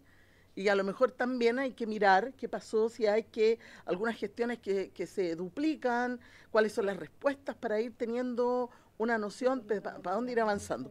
Yo me voy a concentrar con el respeto, obviamente, del- de, la- de los otros afectados en el tema laboral. ¿Por qué? Porque yo creo que si es mayoritariamente allí donde se concentran los casos, Presidenta, a mí me da la impresión que tenemos que tener aquí al a la subsecretaria, subsecretario de Previsión Social, al director del trabajo, a la Contraloría, al COMPIN, a la Asociación de Mutualidades, para ver cómo están viendo ellos. Vamos a transformar esto en una mesa de trabajo, que es finalmente Tenemos para poder tener ciertas respuestas para dónde están pensando ellos avanzar con este tema. Yo entiendo y empatizo que frente a una enfermedad nueva es difícil saber para dónde vamos a caminar. Yo me acabo de enterar que la, que la compañera está afectada, una tremenda deportista que quizás ya no va a poder hacer tampoco lo que siempre ha hecho por, por, por haber sufrido las secuelas de esta enfermedad. Pero yo también siento que esta, experiencia, perdón, estas experiencias personales y, y de las organizaciones efectivamente han ayudado eh, a propósito de lo que decía el doctor de la evidencia científica, si tenemos un caso, tenemos 100, tenemos 3.000, empezamos a levantar la alerta y evidentemente tiene que haber ese espacio. No, no de la nada se declaran enfermedades porque sí, sino que tiene que haber un, un periodo. Ahora, ¿cuál es el tope del periodo? A lo mejor ustedes que saben más de eso nos pueden decir. ¿Cuánto más hay que esperar para quien tenga que ponerle el cascabel al gato y que diga ya, tiene código en FONASA? O tiene en el COMPIN ya un- una, una entrega rápida de las, qué sé yo, las pensiones de invalidez, o porque también la lectura es distinta, porque pasan muchos temas que tú vas y el diagnóstico, ah, yo creo que el colega se equivocó, acá yo lo que veo es otras cosas, y entonces te dan la licencia o te rechazan una licencia por una situación de salud mental y resulta que está asociado a un conjunto de características de una enfermedad que, que estamos conociendo, que estamos conociendo porque no, no se presenta de igual forma como vivimos el COVID, se presenta de distintas formas, es una cosa que no termina, que invalida, ¿verdad? Y que por cierto entonces eh, nos pone en un desafío nuevo, tanto al Estado, al Estado en su conjunto, nosotros también somos parte del Estado, nosotros seguramente después de toda esta vuelta larga vamos a tener que decir, ya, más allá de las resoluciones, que las resoluciones les digo que más allá de ser una solicitud al presidente no es más que eso, y son cientos de solicitudes. Entonces, ¿qué hacemos? Porque también de repente podríamos decirle al ministro de Hacienda, oiga, ¿y hay mano para...? No, ¿Hay mano o no hay mano? ¿Me entiendo, no? Porque finalmente también hay cuestiones presupuestarias, que el COMPIN va a decir, yo estoy, no, no estoy, eh, te quiero decir, Paola, perdón, que no, no estoy diciendo que esto es la receta, porque no la tengo. Creo que sería bueno poder escuchar a otros actores que tienen más poder para tomar una determinación que la superintendencia. Y allí entonces es, incluso a la NEF, que yo le decía a la FENAC, ¿qué pasa con los gremios? Como eh, la cantidad de casos que hay dentro de sus propios asociados, cómo lo están absorbiendo, ¿no? Porque finalmente, claro, la queja del Estado, sobre todo en salud, es la abundante cantidad de licencias médicas, el, el número preocupante que hay de, eh, de ausentismo laboral, sobre todo en el área de la salud. Ya, pues, pero puede ser que aquello responda a orígenes distintos, no me cabe ninguna duda, de hecho. Pero si hay un origen que es laboral, el empleador se tiene que hacer cargo. ¿Quién es el empleador? El Estado. Entonces, yo, Presidenta, creo que eh, y yo igual le agradezco a las diputadas de ellos, la diputada Olivera, que insistieron en este tema, que a pesar de que nosotros no somos la Comisión de Salud ni la Comisión de Trabajo, nos ha tocado muchas veces hacernos cargo de, principalmente porque la prevalencia está en mujeres. Y ahí es donde nos obliga a nosotros a hacernos cargo de una temática, sí o sí, tanto en deporte como en salud, como en vivienda. Eh, en, en deporte hemos hecho cosas que no había hecho nadie y lo logramos en este espacio, escuchando a las deportistas, a su realidad como mujeres deportistas. Yo creo que en esto va la misma línea. Nosotros queremos ser útiles a esto. Y por eso que, no con el afán de no escuchar a todos los casos, pero al final eran muy similares unos con otros. Y lo que necesitábamos nosotros es poder llegar a algunos acuerdos aquí. Aquí hay una mirada bien transversal. Somos diputadas de distintas fuerzas políticas, pero que entendemos que lo que no podemos hacer es mirar para el lado. Y, y, en ese sentido, quizás la propuesta es, primero porque no tenemos un catastro, no sabemos cuántos son realmente. Partimos, porque para poder hacer una política pública yo puedo ponernos de acuerdo con las cuatro y decir, ya, presentemos un proyecto. Nos van a declarar inadmisible, primero, porque no va a requerir recursos, va a requerir recursos, no los tenemos. Y segundo, ya, ¿a cuántos vamos? ¿A qué población? ¿En quién? No tenemos idea. Po. Entonces, hay cuestiones que son fundamentales. Y ahí, claro, las denuncias, los casos que han ingresado a la superintendencia son importantes, pero también se tienen que cruzar con las atenciones médicas, en los centros de salud, en las mutuales, puntualmente en el caso laboral. También sería bueno saber por la voz las asociaciones, no con una mutual en particular, porque creo que también es necesario ver qué están mirando ellos como asociación de mutuales. En este caso puntual, cuántos casos son los que ellos les ha llegado. Eh, diagnosticado con una presunto, una, presunto long COVID y cómo lo han resuelto. Entonces, ir viendo, Presidenta, con todos estos actores que debieran decir algo. Ahora, me imagino que finalmente quien tiene que ponerle el cascabel al gato es el MinSal, después de toda esta vuelta, en términos de declarar esta enfermedad como tal, eh, la ingrese al auge o no la ingrese al auge porque FONASA no va a actuar solo tampoco. Entonces, por eso que, que bien larga la, eh, eh no es tan no es tan rápida la resolución de esto y, y, y, lo que tenemos que hacer es primero también que ustedes nos hagan llegar cuáles fueron los acuerdos de las otras comisiones, Eso. que nos digan qué, a qué cosas se comprometieron, nosotros podemos oficiar, me parece buena idea escuchar a, a especialistas de incluso el mundo privado que están abordando el tema, Ahí está la representante de la biblioteca acá atrás, que en la próxima comisión también nos va a contar qué está pasando en los otros países, porque hay que mirar, eh, hacer un comparado. Mira, en otros países están actuando así, tal como lo decía Paola. Mira, hemos tomado contacto con organizaciones en otros países, lo están, a- porque también uno tiene que aprender de las experiencias. Mira, lo estamos abordando de esta forma. Eh, y aquí hay harta pega aún por hacer. No sabemos hoy día con claridad cuántos son hoy día los afectados por esta nueva enfermedad. Y eso requiere y obliga al Estado a cruzar toda la información que tiene. Entonces tenemos que empezar a pedirla. Así que denos el espacio también a nosotras para empezar a pedir esa información a las distintas dependencias del Estado donde han llegado pacientes acusando tener este diagnóstico. Entonces, no va a ser algo como que el otro miércoles estemos listos, ¿no? Va a requerir un poco más de tiempo. Em, Eso nada más. Sí, gracias. Pero a ver, lo que pasa es que estamos súper acotados con los tiempos. Tenemos, tenemos dos invitadas que vinieron especialmente a exponer para el proyecto de ley. Así que por favor, por favor, un minuto, por favor, de verdad. Por favor. Yo comparto con usted, diputada, lo que acaba de mencionar, pero en el tema laboral está hecho. No hay que sacar dinero ni nada por el estilo. Eso está, ya está plasmado. Lo que pasa es que nosotros necesitamos que nos atiendan y que no oculten los síntomas los signos y nos deriven a los especialistas que están hoy día aquí en Chile, que están en la clínica alemana, en la clínica en la católica y están en un estudio hoy día de la Universidad de Chile. Pero la que la lleva hoy día es la alemana. Entonces, no hay que inventar la rueda. O sea, nosotros no podemos esperar que se nos muera un paciente porque no tuvo una atención. Podemos pedirle a las mutuales que incorporen ese tipo de profesionales, cuestión que no sabemos si ellos ya Es que la superintendenta ya se comprometió en la última reunión en que nos iba a derivar a la alemana. Estuvo en, la ulti- en el último log, yo le puedo mandar la grabación, donde ella incluso sugirió derivarlos a la alemana. Y aquí está, está eh, don Benjamín, que está claro, ¿no es cierto? Y no, no, no lo ha hecho.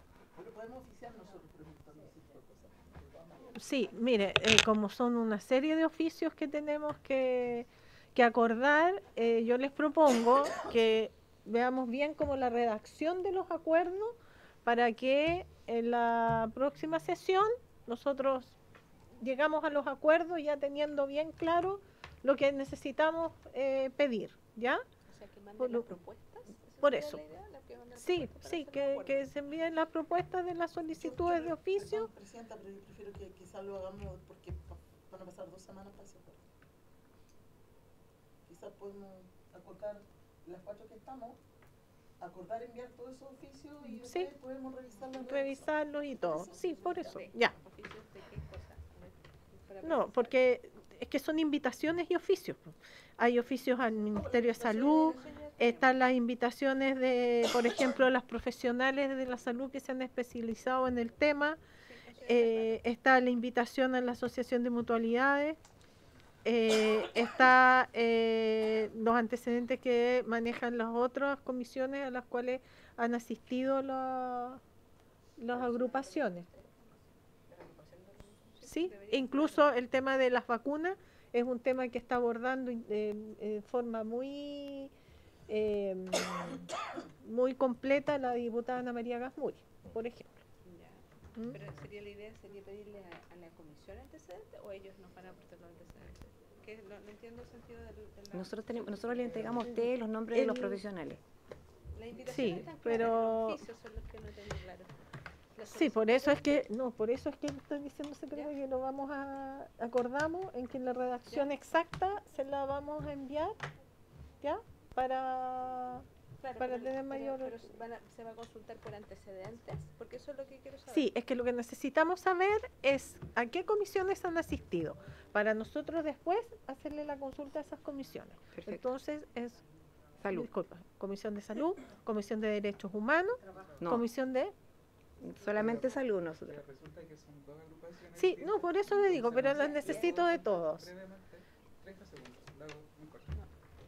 Eh, nosotros eh, expusimos en la Comisión de Salud, eh, efectivamente, a través de la diputada María Gamuri, Ve, ella ofició ingresó, eh, eh, ingresó ciertos Ah, oficios. De hecho, en esa comisión estuvo el asesor legislativo del MinSal, don Jaime, eh, quien se comprometió a revisar los casos y ver el tema GES en ese minuto en la comisión. Él asumió varios acuerdos. De hecho, tenemos acá la asesora de la diputada Gasmuri,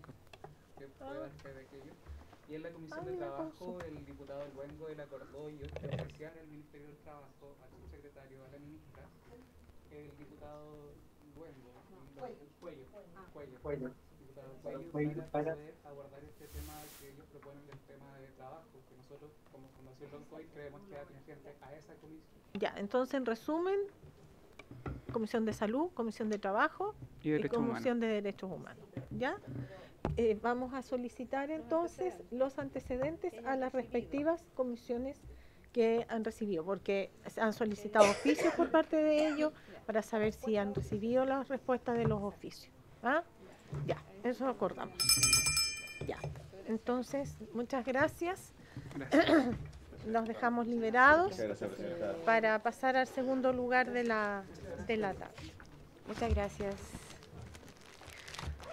Entonces, corresponde continuar en segundo lugar la discusión general de la moción de las diputadas Yomans, Bello, Gamuri, Morales, doña Carla, Musante, Nuyao, Sandón, Rojas, Romero, doña Natalia Santibáñez, que modifica las leyes 20.830 y 19.968 para regular la convivencia de hecho y su reconocimiento judicial en primer trámite constitucional y reglamentario, boletín número 16.965-34. Asisten las académicas doña Romy Álvarez y doña Andrea Montesinos. Hola, buenas tardes. A ver, ¿por quién empezamos? ¿Por lo de señora Romy o señora Andrea? ahí lo prendo. No, en el Sí. orden que ustedes nos digan, como ustedes nos indiquen. En el orden que está. ustedes. Bueno. Ya, parte usted. Señora Romy. Andrea. Señora Andrea. Bienvenida. Eh, tiene Ahí sí, ahí sí. Bueno, primero agradecer la invitación, muchas gracias, porque siempre, no, no, eh, tremendo tema, pero agradecer siempre, ¿no es cierto?, que, mm, que se estén preocupando de desarrollar las familias, los principios de familia, que es lo que venimos a hablar hoy día con la profesora eh, Álvarez. Eh, voy a tratar de resumir lo más posible todo este tema, que puede ser un poquito más complejo, lo podemos conversar también en otra, en otra oportunidad. Eh, este proyecto lo que busca eh, es regular una familia o tipos de familia que actualmente no están siendo reguladas. ¿ya? Sabemos que el Estatuto de Familia en Chile está regido por el derecho matrimonial, ¿no es cierto? Que puede ser matrimonio entre las parejas heterosexuales o parejas del mismo sexo y el acuerdo de unión civil, ¿no? Pero nos queda, no quedan afuera de estos estatutos una cantidad enorme de familias a las que no podemos dejar atrás, ¿no es cierto? No podemos dejar de protegerlas, porque en el fondo acá se trata finalmente de proteger a la familia, de proteger a la mujer, como busca muy bien intencionadamente eh, el proyecto. Pero yo creo que la pregunta, insisto yo, es mucho más amplia, porque la primera pregunta es que el Estatuto General, que es el matrimonio, prácticamente está aplicando cada vez menos. Es decir, eh, ya está demostrado estadísticamente, ¿no es cierto? La gente no está contrayendo matrimonio, eso es así. Em, mayoritariamente el tema del acuerdo unión civil, sí, pero la gente en general no está contrayendo matrimonio. Entonces la pregunta, diría yo, de familia es, ¿por qué no lo está haciendo? ¿Por qué no, no, no, lo, no lo está regulando? ¿no? Esa es la, la pregunta yo creo que de fondo. Porque en realidad lo que busca el legislador, lo que buscamos nosotros es proteger este estatuto, es proteger a las parejas, en este caso específicamente a la mujer, a los hijos, pero el tema es cómo podemos finalmente protegerlos, porque estamos quedando en tierra de nadie, por así decirlo jurídicamente, ¿no es cierto?, en relación a estas parejas que no, no, no contraen matrimonio o acuerdo de unión civil. Ahora, el primer cuestionamiento que tengo yo dice relación con crear un nuevo estatuto, porque este proyecto de ley, en el fondo, lo que busca es crear un tercer estatuto, ¿no es cierto? Un reconocimiento de parejas de hecho. Pero lamentablemente estimo yo que ese reconocimiento, en el fondo, nos va a permitir, o no, que conversábamos con la profesora Álvarez hace unos minutos, ¿no es cierto?, nos va a insistir en crear e ir creando cada vez más nuevos estatutos. Porque si no se encausan en este nuevo, que sería un reconocimiento judicial, ¿no es cierto?, Del, de, esta relación afectiva de pareja, tendremos que después crear otro, y después otro, porque la gente no se encausa en el sistema legal, eso es lo que estoy diciendo yo, ¿se fijan? Entonces, creo que hay como que reflexionar en cuanto a, la familia, en definitiva, ¿no es cierto? Eh, ahora, se trata finalmente, creo yo acá, de una visión más amplia, que es la que yo quisiera a ustedes proponerles, ¿no es cierto? Que es nuevamente cómo regulamos la nueva familia en Chile. Eso es, porque está claro que el estatuto que tenemos, estimo yo, resulta insuficiente, el que proponen acá también resulta insuficiente. Entonces hay que replantear de nuevo, ¿no es cierto? ¿Qué entendemos por familia en Chile y cómo la vamos a proteger? Porque ya sabemos que hay muchas familias, ¿no? Familias con una madre, con un hijo, abuelos que crían a los hijos, tíos, sobrinos, etcétera. Ya no está esa, esa, esa visión tradicional de familia a la que debemos proteger, debemos proteger a todos, en definitiva. Y esa, esa, esa es la, la cuestión. Ahora, otro tema, ese, ese es importante, sí que quiero decirlo. Aquí se regula mucho esta materia eh, tratando el tema como un contrato. Eh, hay algunas corrientes doctrinarias, ¿no es cierto?, que incluso tratan como un contrato al matrimonio. La verdad que yo estimo que no es así, no es así y se produce una, digamos, un conflicto muy grande entre los principios que hay que aplicar a esta institución, porque si llegáramos a la conclusión, estimo yo, Ra, que se trata de un contrato, tendríamos que aplicar los derechos de los contratos y la aplicación, y no se trata de un contrato, esto se trata de una base, que nadie puede negar eso, es una base afectiva. ¿Por qué se forma la familia? No? La familia se forma por una relación afectiva, de apoyo, de cariño, de afecto que no es lo mismo cuando yo compro un inmueble o compro un mueble, no es lo mismo. Entonces, por lo tanto, esta relación de familia, estimo yo, debería estar basada en principios de familia. Este proyecto, al igual que el acuerdo de unión civil, ¿no es cierto?, eh, la verdad que se basa en principios patrimoniales y no de familia, que son, creo yo, los que se deben eh, aplicar. Eh, ahora, en relación al proyecto mismo, ya dije ya, eh, esto dir- diría yo que el problema que trata de solucionar debe ser objeto de políticas públicas. Esto ya es un tema de política pública, vuelvo a repetir, de cómo entendemos la familia, de cómo vamos a proteger a la familia, etcétera. No, no, no se soluciona, evidentemente, con, con un proyecto este acotado, digamos, ¿no? Ahora, algunas observaciones simplemente que me llamaron la atención, porque fíjense que este proyecto establece la posibilidad de reconocimiento judicial cuando haya habido un hijo. ¿ah? Eso ya es una cuestión, estimo yo, primero discriminatoria, porque ya hemos entendido, ¿no es cierto?, abiertamente que las relaciones de familia no siempre se basan en el lazo filiativo, sino que se, la- se pueden basar, ¿no es cierto?, en lazos simplemente de afecto, ¿no?, no filiativo. Y por otro lado, la práctica, pues en Chile están naciendo, tenemos una base de natalidad, una de las más bajas de Sudamérica. Entonces, exigir un requisito que aparece ya prácticamente inaplicable a estas alturas, de acuerdo a la realidad chilena, me parece improcedente, porque en el fondo vamos a estar legislando sobre una base, una realidad que pareciera, digamos, desconocer lo que realmente está pasando. Eso en relación a los hijos, ¿no? Ahora, algunos puntos me voy a referir solamente. En relación a la cuestión patrimonial tampoco soluciona nada, ¿no? Eh, ustedes sabrán que, bueno, que el estatuto patrimonial en Chile son varios. Y ahora son tan diversos que yo les digo, o sea, en el fondo, una mujer, yéndonos a la cuestión de género, una mujer que va a contraer matrimonio, un acuerdo unión civil o eventualmente este reconocimiento judicial, es muy difícil que logre entender, si es que no es abogada, porque la verdad, es muy difícil que logre entender de qué se tratan estos estatutos, porque son muy complejos. La sociedad conyugal es compleja, ¿no? en sí misma. Se está cuestionando el tema de la administración, que eso es otro tema, ¿cierto? El tema del estatuto de la separación, claro, nos deja insuficientemente protegida a la mujer en este caso, ¿no es cierto? Tradicionalmente entendida como una mujer que ejerce los cuidados, en definitiva, ¿no? Y no remunerado. Pero eh, claramente no, no, no, no va por ahí, ¿no? ¿Y para qué hablar del régimen de comunidad? Digamos, que estamos aplicando normas del cuasi contrato de comunidad y, ahí es, quiero insistir en eso. Aplicar normas patrimoniales, contractuales a relaciones de familia, yo estimo que no, no, no es procedente y simplemente vulneratorio, digamos, ¿no? Porque aquí vamos a aplicar una norma de cuasi contrato comunidad, cuasi contrato que por lo demás siempre ha sido insuficiente para regular este tema. Por lo tanto, yo insto entonces a tratar de unificar más bien los sistemas, simplificarlos, siempre sobre la base y en consideración, ¿no es cierto?, de la protección de la familia y, por supuesto, de las mujeres. Otro tema, y ahí voy terminando, porque tengo varias observaciones, pero otro tema, en materia de derecho sucesorio. Fíjense que este, este proyecto busca establecer los mismos derechos a la sucesión que el cónyuge sobreviviente y que el conviviente civil. Esto se puede, puede fíjense, hacer una apertura, estimo yo, eh, muy riesgosa, porque efectivamente podría incluso inducir a fraude. Porque esta, este, esta convivencia, ¿no? Puede ser, no nos olvidemos también, entre parejas del mismo sexo o heterosexual, digamos, pero en el fondo tenemos esta relación que se acredita sobre la base de ciertos hechos que eventualmente ¿no? tenemos que acreditar, que ya el sistema probatorio es complejo, y por otro lado los efectos son enormes, que son hacerlos concurrir a la sucesión con la misma calidad de un cónyuge sobreviviente o de un conviviente civil.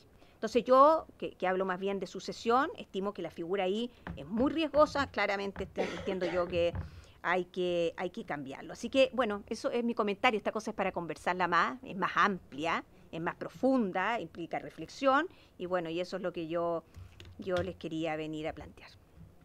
Muchas gracias, señora Andrea, muy, muy clarificador. No sé si usted tenía una minuta, algo que nos pudiera compartir respecto de... Ah, ya, sí, muy amable. Muchas gracias, señora Romy. Muchas gracias, buenas tardes, muchas gracias por la invitación, particularmente a la presidenta de la comisión, de, a la presidenta de esta Comisión de Mujeres y Equidad de Género, eh, para dar mi opinión acerca de este proyecto de ley que modifica las leyes 20.830 y 19.968 para regular la convivencia de hecho y su reconocimiento judicial. Yo voy a partir diciendo que coincido en el examen que, que ha efectuado la profesora Montesino, pero mm, me dediqué y me aboqué a unas cuestiones que son puramente jurídicas, eh, especificando varios de los temas que, que abordó Andrea y que me parece que pueden ser complementarios ¿no? en esta conclusión, en este análisis. Bueno, este proyecto tiene como idea matriz la de reconocer derechos a las mujeres en el marco de una convivencia afectiva de hecho, en que por los estereotipos de género estructurales, eh, asumiendo labores de cuidado y crianza y contribuyendo económicamente, quedan, sin embargo, desprovistas de resguardo en el ámbito patrimonial, en lo relativo a los bienes adquiridos durante la convivencia y en el ámbito sucesorio, a diferencia de lo que sucede con las mujeres que formalizan sus uniones afectivas mediante las instituciones reguladas legalmente. Cuestión que me parece, por cierto, relevante y que nos pone en sintonía con los progresos, ¿no? en los reconocimientos que dentro de nuestro sistema normativamente hemos ido avanzando. Me recuerdo, por ejemplo, la ley dictada este año 21.675 que precisamente reconoce ¿no? la, la, violencia económica en contra de las mujeres. Eh, hay que sí tener presentes dos cuestiones fundamentales respecto a este proyecto de ley. Primero, tiene como centro aspectos patrimoniales, ¿no? Pensaba en la situación de la mujer, pero el alcance va a ser transversal, porque rige para mujeres y hombres, pues trata la figura de la convivencia de hecho entre personas de igual y distinto sexo. Eso primero. Y segundo, algo que ya había tocado la profesora Montesino, la convivencia de hecho, o moriuxorio, precisamente se caracteriza por su componente fáctico, o sea, es decir, fuera de los cauces legales establecidos para dar forma y atribuir consecuencias jurídicas a las uniones afectivas en el plano horizontal. Así, en uso de la libertad personal y, de, eh, y atendida a la diversidad familiar, siempre van a existir personas que opten por configurar y vivir sus relaciones afectivas al margen de las formas o de los reconocimientos efectuados por el legislador. Por lo tanto, creando esta tercera categoría no se pone solución a todas las situaciones que van a seguir ocurriendo. Ahora bien, entrando propiamente en el análisis del texto pro propuesto, eh, debo hacer presente que este contiene un tratamiento confuso de instituciones jurídicas que desde el punto de vista del derecho civil genera una serie de cuestionamientos en torno a su ubicación dentro de la estructura jurídica nacional en, en materia de relaciones de familia, en el plano horizontal, y los efectos jurídicos que parece asociar a la convivencia de hecho. La técnica legislativa utilizada es deficiente, existen importantes imprecisiones en términos de instituciones jurídicas que, como es natural de ser mantenidos, va a acarrear problemas tanto en la interpretación de las normas como en su incardinación dentro de nuestro sistema jurídico. En particular, respecto al articulado que se propone, eh, en el artículo primero propone agregar un artículo, un nuevo título séptimo a la ley 20.830 que titula de la regulación de las convivencias legales de hecho. Y aquí hay un problema, un primer problema, ¿no? Que salta a la vista y es terminológico, pues o se trata de convivencia legal o se trata de convivencia de hecho, porque jurídicamente ambos caracteres son incompatibles. Voy a detenerme en el primer artículo, ¿sí? que, que es el artículo 29 que propone, lo voy a, lo voy a, sí, sí, claro. Sí, para prorrogar 10 minutos. Muchas gracias. eh, Ah, que les decía que me puse a analizar el artículo 29 en detalle. No lo voy a hacer con todo el articulado, solamente les quiero evidenciar las imprecisiones jurídicas que son súper relevantes y que traen una serie de cuestionamientos e inconvenientes. Bien, el artículo 29, que al parecer apunta a aportar una noción de convivencia de hecho y establecer sus requisitos, indica Se entenderá por convivencia de hecho la unión estable, pública y permanente de dos personas mayores de edad del mismo o distinto sexo, que no tengan un acuerdo de unión civil o matrimonio vigente o que de haberla tenido con un tercero se hubiese verificado el término de dicha relación por sentencia firme de nulidad o divorcio o por acuerdo de las partes en el caso de acuerdo de unión civil, donde se haya realizado la liquidación de los bienes adquiridos en común y vivan en una comunidad de vida análoga a dichos contratos por un periodo no inferior a dos años, de cuya unión resulte en, por lo menos, ahí hay un problema de redacción, un hijo en común y cumpliendo los requisitos señalados en el inciso primero del artículo 9 de la presente ley. Bien, de todos estos requisitos ¿no? que se incorporan dentro de esta noción, dice que no tenga un acuerdo de unión civil o matrimonio vigente. Entre los requisitos que se establecen entonces, está determinando o proponiendo determinar que las personas miembros de esta convivencia no tengan un acuerdo de unión civil o matrimonio vigente. A ver, y esto se incardina con una materia que es de especial importancia. No existe mención en este articulado que el reconocimiento judicial de la convivencia de hecho sea constitutiva de Estado civil. Pero esta exigencia que les estoy comentando, unido a ciertos caracteres que pueden desprenderse del texto, pareciera reconocer alguna estabilidad y, por cierto, atribuirle efectos jurídicos que ya comentaré, similar a los que sucede con el matrimonio o el acuerdo de unión civil, que es la única razón por la cual uno podría colegir que se derive esta incompatibilidad. Eh, debe considerarse que el artículo 38 propuesto señala, para todas las consideraciones legales del título octavo, que hoy día es el séptimo, se considerará de igual manera los convivientes civiles y los convivientes de hecho. El actual título séptimo eh, introduce modificación a diversos cuerpos legales, ¿no? Lo que generará respecto él a lo conviviente de hecho beneficios de pensiones de sobrevivencia, beneficios tras el fallecimiento, participaciones en actos y contratos en el marco de programas habitacionales estatales, obligación de sepultura, consecuencias en el ámbito de la regulación penal, procesal y en materia matrimonial, configura un impedimento para contraer matrimonio. Y luego, también, como consecuencia, establece una preferencia para el otorgamiento judicial del cuidado personal de los hijos, entre otras consecuencias que trae aparejadas. Además, el artículo segundo de la iniciativa propone modificar los artículos 23, 24 y 25 de la ley 20.830, agregando a cada uno de ellos la frase conviviente de hecho, a quienes en consecuencia entonces también le van a ser aplicables las inhabilidades, incompatibilidades y prohibiciones que las leyes y reglamentos establecen respecto de los cónyuges y la prohibición de ser nombrado curador del conviviente declarado interdicto por disipación. Recordemos que el Estado civil se define como la calidad que ocupa una persona en la sociedad derivada de las relaciones de familia que le permite ejercer ciertos derechos o contraer ciertas obligaciones civiles, noción que extraemos del artículo 304 del Código Civil. La situación derivada de la convivencia, de hecho, podría entonces acarrear problemas interpretativos a la hora de determinar si tratándose de una relación de familia posiciona a una persona dentro de la sociedad, permitiéndole ejercer ciertos derechos o contraer ciertas obligaciones civiles, lo que entronca entonces con la noción del Estado civil, cuestión que el proyecto no clarifica. Solo valga ser presente que eh, en respecto al matrimonio, el Estado civil de casado está comprendido en el artículo 305 del Código Civil y en la regulación del acuerdo de unión civil se contiene expresamente en el inciso segundo del artículo primero. ¿no?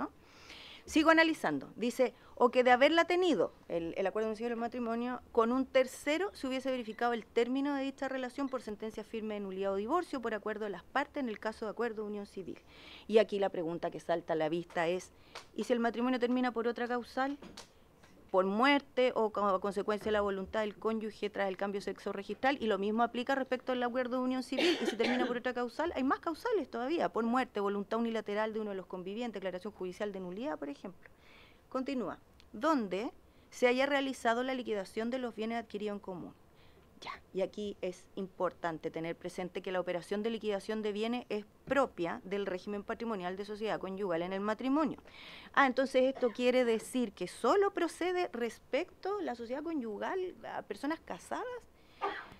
Y la pregunta que surge, ¿y si se encontraban casados en otro régimen patrimonial que también requiere algún tipo de operación, como por ejemplo el régimen de participación en los gananciales? ¿Qué va a pasar con eso? Entonces, quiere decir que el crédito de participación en los gananciales que hubiera podido nacer ¿no? al término del régimen, ¿debería encontrarse cumplida esa obligación o, va a quedar latente? Bien, como quiera que sea, es importante señalar que se advierte una confusión de dos instituciones jurídicas que son diversas. De una parte, el matrimonio, que genera una serie de efectos jurídicos de corte personal y también de contenido patrimonial y otra institución diversa que es el acuerdo de unión civil. Sigo y dice, y vivan en una comunidad de, vida análogos a dichos contratos, ¿no? Dado lo que les acabo de mencionar, no se logra comprender qué quiere, qué se quiere referir con comunidad de vida análoga a dichos contratos, porque la comunidad de vida que se genera del matrimonio genera unos efectos y unas consecuencias jurídicas que son distintas al acuerdo de unión civil. Ahora, si, se que, si lo vemos desde el punto de vista patrimonial es diametralmente opuesto, si lo vemos desde el punto de vista de los efectos personales también son opuestos porque el acuerdo de unión civil no genera los efectos personales del matrimonio. Ahora, sí eh, genera uno de ellos que eh, especialmente es la ayuda mutua y la eventual procedencia de la compensación económica. El término análogo, ¿no? Eh, se utiliza en legislaciones extranjeras. Yo puedo referirme, por ejemplo, a las disposiciones del Código Civil de Cataluña, que es el que conozco más de cerca. Reconoce ese código la convivencia estable en pareja, en su artículo 234.1, cuando refiere a la pareja estable, sí utiliza la frase vida análoga a la matrimonial, ¿no? Pero al utilizarla lo hace así en relación con el matrimonio, o sea, en una institución jurídica perfectamente definida para contrastar Aquí no tenemos con qué contrastar porque no sabemos si se va a contrastar con el acuerdo de unión civil o con el matrimonio. Por un periodo no inferior a dos años continuo, no existe ningún fundamento que uno logre encontrar o desprender del articulado para determinar ese plazo, salvo eh, la referencia a legislaciones extranjeras. Sí, en Perú se contempla en la norma correspondiente y también an- con anterioridad le incorporó el Código Civil de Cataluña, aunque no está a la vista dentro de las fuentes inspiradoras de este proyecto, según se menciona y luego, coincidiendo con lo que señalaba la profesora Montesino, de cuya unión resulte en por lo menos un hijo en común. O sea, ¿estos son requisitos copulativos? ¿Es requisito copulativo tener un hijo de la convivencia, un hijo en común de la convivencia? Parece que sí, por lo tanto, si no existe un hijo en común, entonces no aplicaría la, la- la regla. Otros otras interrogantes que me surgen es, ¿y el hijo tiene que haber nacido durante el periodo de los dos años continuos? Y bueno, y si es para personas del mismo sexo y si se trata de una unión entre dos hombres, porque es bien complicado porque exigir esto, porque por el momento, de acuerdo a nuestro estatuto jurídico, es muy poco probable que puedan tener hijos en común, porque hasta el momento la ley 19.620 en materia de adopción permite la adopción conjunta solo respecto de matrimonios, ¿no? Y bueno, y que lo tengan vía utilización de técnicas de reproducción humana asistida heteróloga y eh, particularmente la gestación por sustitución es un tema que en Chile aún ni siquiera nos hemos planteado, ¿no? Y después dice, y cumpliendo con los requisitos señalados en el inciso primero del artículo 9. O sea, esto querría decir que, como se le aplican las reglas del acuerdo de unión civil, en este caso no podría tener este reconocimiento judicial de la convivencia fáctica entre dos personas existencia cuando se trata de ascendientes y descendientes por consanguinidad o afinidad. Ahí de nuevo volvemos al tema. ¿Y por qué por afinidad? Si esto no es matrimonio, un acuerdo de unión civil. Y luego entre los colaterales por consanguinidad en segundo grado. Eh, bueno, por razones de tiempo me resulta imposible efectuar un análisis exhaustivo de cada norma, como les decía. Eh, sin embargo, a través de la revisión preliminar de este primer artículo, eh, es posible eviden- evidenciar, ¿no? Muchas gracias. Todavía no termino. Si me permiten, espe- es que pensé que me iban a preguntar algo. Eh, ya. Surgen esta variedad de interrogantes, ¿no? Y que dan cuenta de esta imprecisión jurídica que yo les comentaba y los problemas interpretativos que, que entraña. Más resumidamente, acotar. El artículo 30 indica que la convivencia de hecho se acreditará mediante medios de prueba generales. ¿A qué medios de prueba se quiere referir? Luego indica cuatro medios de prueba en particular. Entonces, quiere decir que de entre estos medios de prueba generales, estos cuatro que mencionan son los que deben considerarse, todos copulativamente, uno solo de aquellos. Un detalle no menor ah, es que jurídicamente en materia de afiliación no existe respecto de los hijos esto que denomina tutoría legal, eso no existe. Llama la atención que entre los medios de prueba que señale indique la declaración de dos o más testigos, sobre todo si es que se piensa en utilizar estos medios de prueba en forma aislada o individual. Pues por supuesto que es posible imaginar que podría prestarse para acuerdos simulados, ¿no? El artículo 35 dice, parece reiterativo, pero además habla de medios probatorios idóneos, cambia el término, ¿qué quiere significar con eso? Lo mismo que el artículo 30 y por qué esa diferencia. Hay un tema con los plazos de prescripción para solicitar el reconocimiento judicial de convivencia. En el artículo 33 habla de cinco años contados desde la disolución de la convivencia o en si la parte demandante contrae matrimonio o celebrar un acuerdo de unión civil, ahí hay un problema de redacción además. El artículo 34 habla de un año, ¿no? Desde el fallecimiento. Y Claro, el artículo 36 dice para efectos de la liquidación de los bienes adquiridos durante la convivencia de hechos judicialmente reconocidas, se presume que aquellos bienes muebles o inmuebles adquiridos por cualquiera de las partes durante la convivencia son de propiedad de ambos, por lo que se debe realizar, supongo que querrá decir dividir, en partes iguales Primero, no hay claridad respecto al tipo de presunción que se trata de establecer, ¿es de derecho o simplemente legal? Importante tener presente que involucra una regla aún más restrictiva que aquella que rige la adquisición de bienes durante el régimen de sociedad conyugal en el matrimonio, ya que aquí se refiere tanto a bienes muebles como inmuebles y adquiridos a cualquier título, ¿no? En el régimen patrimonial de sociedad conyugal ingresan al haber social solo aquellos adquiridos a título oneroso durante su vigencia, que es el reflejo, el reflejo en materia patrimonial de la comunidad de vida que surge matrimonio. Respecto a la regla sucesoria, el que se propone como inciso segundo el artículo 36, al parecer, pretende directamente crear una réplica del matrimonio del acuerdo de unión civil. O sea, cualquiera de las tres vías conseguirían idénticos efectos jurídicos, lo que desnaturaliza las instituciones ya reguladas legalmente. Es importante hacer mención que tratándose de una acción civil existen también variados temas de índole procesal ¿ah? que aparecen confusos. En el artículo 33 habla de acción personal. ¿Qué quiere significar con eso? Que es personalísima. Bueno, por las razones expuestas, considero que es una iniciativa valorable, por cuanto incide en un ámbito de relevancia para la situación de la mujer, sin embargo, jurídicamente es deficiente y en los términos planteados podría acarrear una serie de inconvenientes interpretativos. Quizás sí, la oportunidad pudiera servir para lograr encontrar el espacio para facilitar a las mujeres que se encuentren en esta situación el reconocimiento del valor de sus labores de cuidado de crianza y la facilitación de la prueba de su contribución patrimonial en la adquisición de bienes, particularmente a título oneroso, en el lapso de una convivencia de hecho a objeto de obtener una regla específica más allá del cuasi contrato de comunidad para participar de los resultados pecuniarios alcanzados durante el desarrollo de ese bien común. Pero en definitiva, conforme los inconvenientes analizados desde el punto de vista jurídico en los términos propuestos, no sería aconsejable que este proyecto de ley prosperara. Muchísimas gracias. Muchas gracias, profesora Álvarez, Álvarez Romy Álvarez. Eh, voy a prorrogar cinco minutos para algunas acotaciones nuestras. sí, yo, yo también, así que cinco minutos. Eh, bueno, ya estamos, hay claridad respecto de, de las deficiencias que tiene y de las mejoras que tendrían que realizarse, pero acá yo creo que hay un tema que fue también expuesto cuando la, la mocionante vinieron a presentar el proyecto y en realidad lo que se pretende con este proyecto de ley es eh, tratar de dar una solución a distintas problemáticas a las que se enfrentan día a día muchas mujeres que son convivientes, ya que viven en eh, un régimen, por decirlo de cierta forma, fáctico de convivencia de hecho.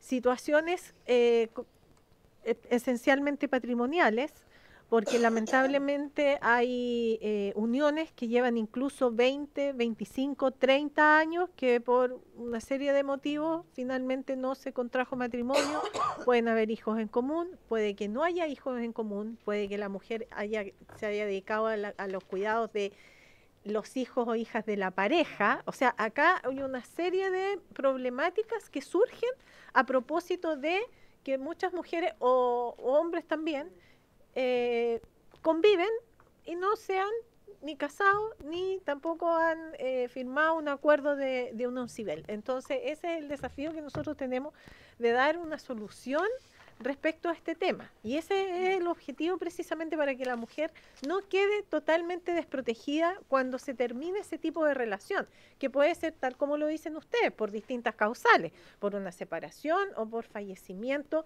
de una de las de las partes, por decirlo de cierta forma. Entonces, es ahí eh, el desafío para lograr dar una solución, pero tenemos claridad absoluta que el remedio no puede ser peor que la enfermedad. Diputada Mix.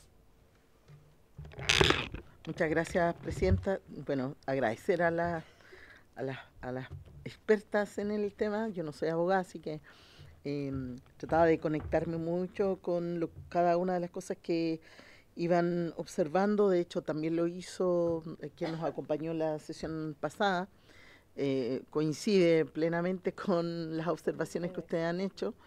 Em, yo me atreví a hablar con una de las mocionantes y me dije, oye, hicieron pebre tu, tu, tu proyecto, eh, ¿cómo lo arreglamos? Porque yo siento que, bueno, acá no hay ninguna de las de la autores, la, la diputada Romero retiró la firma, así que nos quedamos sin ninguna. y- Bueno, pero, eh, pero cada después de, de haber escuchado a la experta la semana pasada, dijo, claro.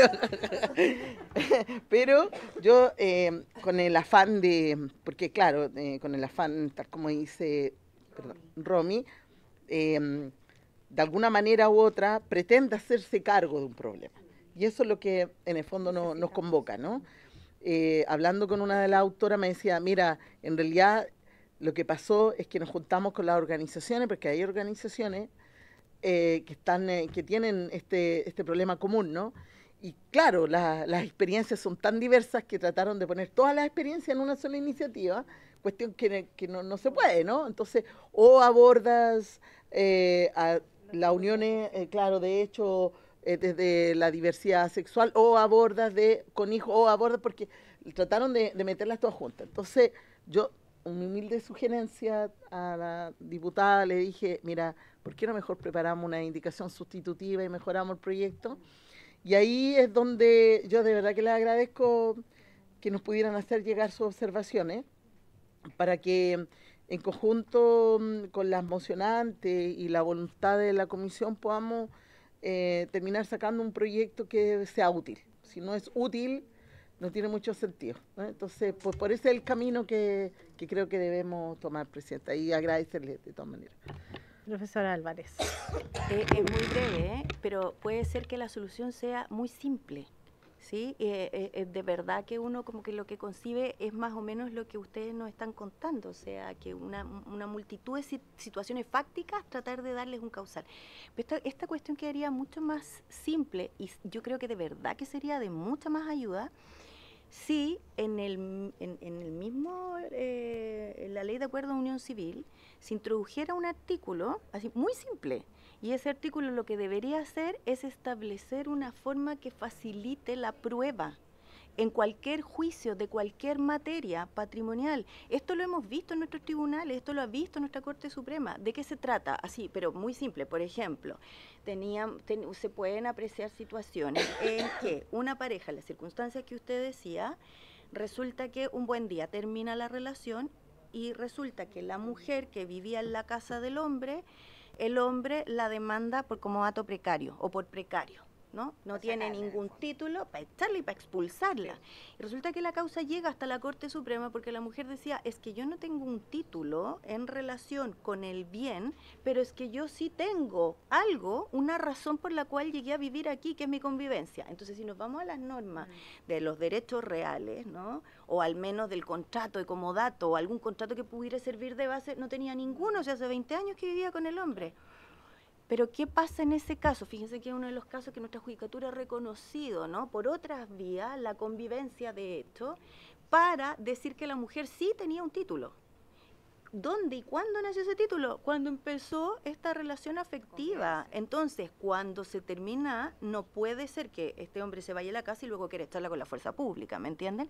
Entonces, si se introduce una norma en la misma ley de acuerdo de unión civil, porque no tenemos otro lugar donde ponerla, digamos, y allí indicamos que en todos los casos esto podrá quizás de ser título estoy diciéndolo en una lluvia de ideas, o sea, esta cuestión hay que pensarla, cómo, cómo estructurarla. Fíjense que le facilitaríamos la prueba, que es lo que necesitan las mujeres que se encuentran en esta situación, en muchas situaciones particulares, específicas. Pero ahí tendría que tener la obligación de la existencia de la unión civil. ¿No? Ah, ya. No, ya. po, le ya. facilitamos que pruebe esa convivencia de hecho. perfecto. Ay, perdón, No, perdón, no, no, pero, pero, pero es que yo creo que esa podría ser desde, desde lo que yo he visto, digamos, en la práctica y también, porque claro, a todos nos interesa, ¿no? Esta, esta idea de diversidad familiar, por cierto, a todos nos interesa también, eh, yo creo que el tema de cautelar los intereses de las mujeres que quedan desprotegidas muchas veces. Yo quería aportar también que profesora. efectivamente, pensando- se escucha. Efectivamente, pensándolo, eh, este es un problema de las mujeres, ¿ah? porque son las mujeres efectivamente las que quedan totalmente, ¿no es cierto?, exentas de derechos producto de esta convivencia. De hecho, yo me pregunté cuando vi este proyecto, yo dije, pero en realidad, ¿quién va a demandar esto, este reconocimiento? La mujer, po. ¿Por qué? Porque resulta que no hubo acuerdo en su momento para contraer matrimonio o para celebrar un acuerdo de unión civil y normalmente debiera, debe ser así, yo creo, Romy, que ha sido el hombre el que no quiere contraerlo. ¿Por qué no quiere contraerlo? Porque no quiere contraer las responsabilidades. Porque en el fondo un instituto de familia establece derechos, pero también establece tremendas responsabilidades. Y eso es lo que no quiere. ¿Te fijas o no? Entonces, de alguna otra forma hay que tratar de agarrarlo, de alguna forma jurídica, digo yo, pero hay que tratar de tomarlo y efectivamente encauzarlo, porque es un problema de la mujer, efectivamente. Pero, Sí. pero de y yo insisto, yo creo que es mucho más, de más fácil solución que esto que en realidad altera todo nuestro sistema jurídico. O sea, yo nada más que quise presentarles así como las alteraciones que me, entraban por todas partes. Le, le comentaba a la, a la Andrea, yo me puse a mirarlo, entonces empecé a sumar eh, disposiciones que pretendían modificarse y cada vez era más profundo la debacle, digamos, que podría generarse. Eso. Así es, muchas gracias, muy clarificadores sus aportes a la profesora Romy Álvarez y profesora Andrea Montesino, pero tenemos que encontrar la alternativa porque eh, la idea matriz o el espíritu de- del proyecto es totalmente necesario por todas las realidades que nosotros vemos eh, respecto de lo que sucede con las mujeres y, y hay un tema no menor que muchas mujeres que viven esta situación ya son personas mayores, que en su momento no se casaron porque el cónyuge estaba casado, después murió la, la cónyuge, primera cónyuge, después para qué nos vamos a casar, y así, y han quedado en la total desprotección. Así que, así que muchas, muchas gracias, y muchas gracias por la paciencia también, y por haberse cumplido el objeto de esta sesión, se levanta. you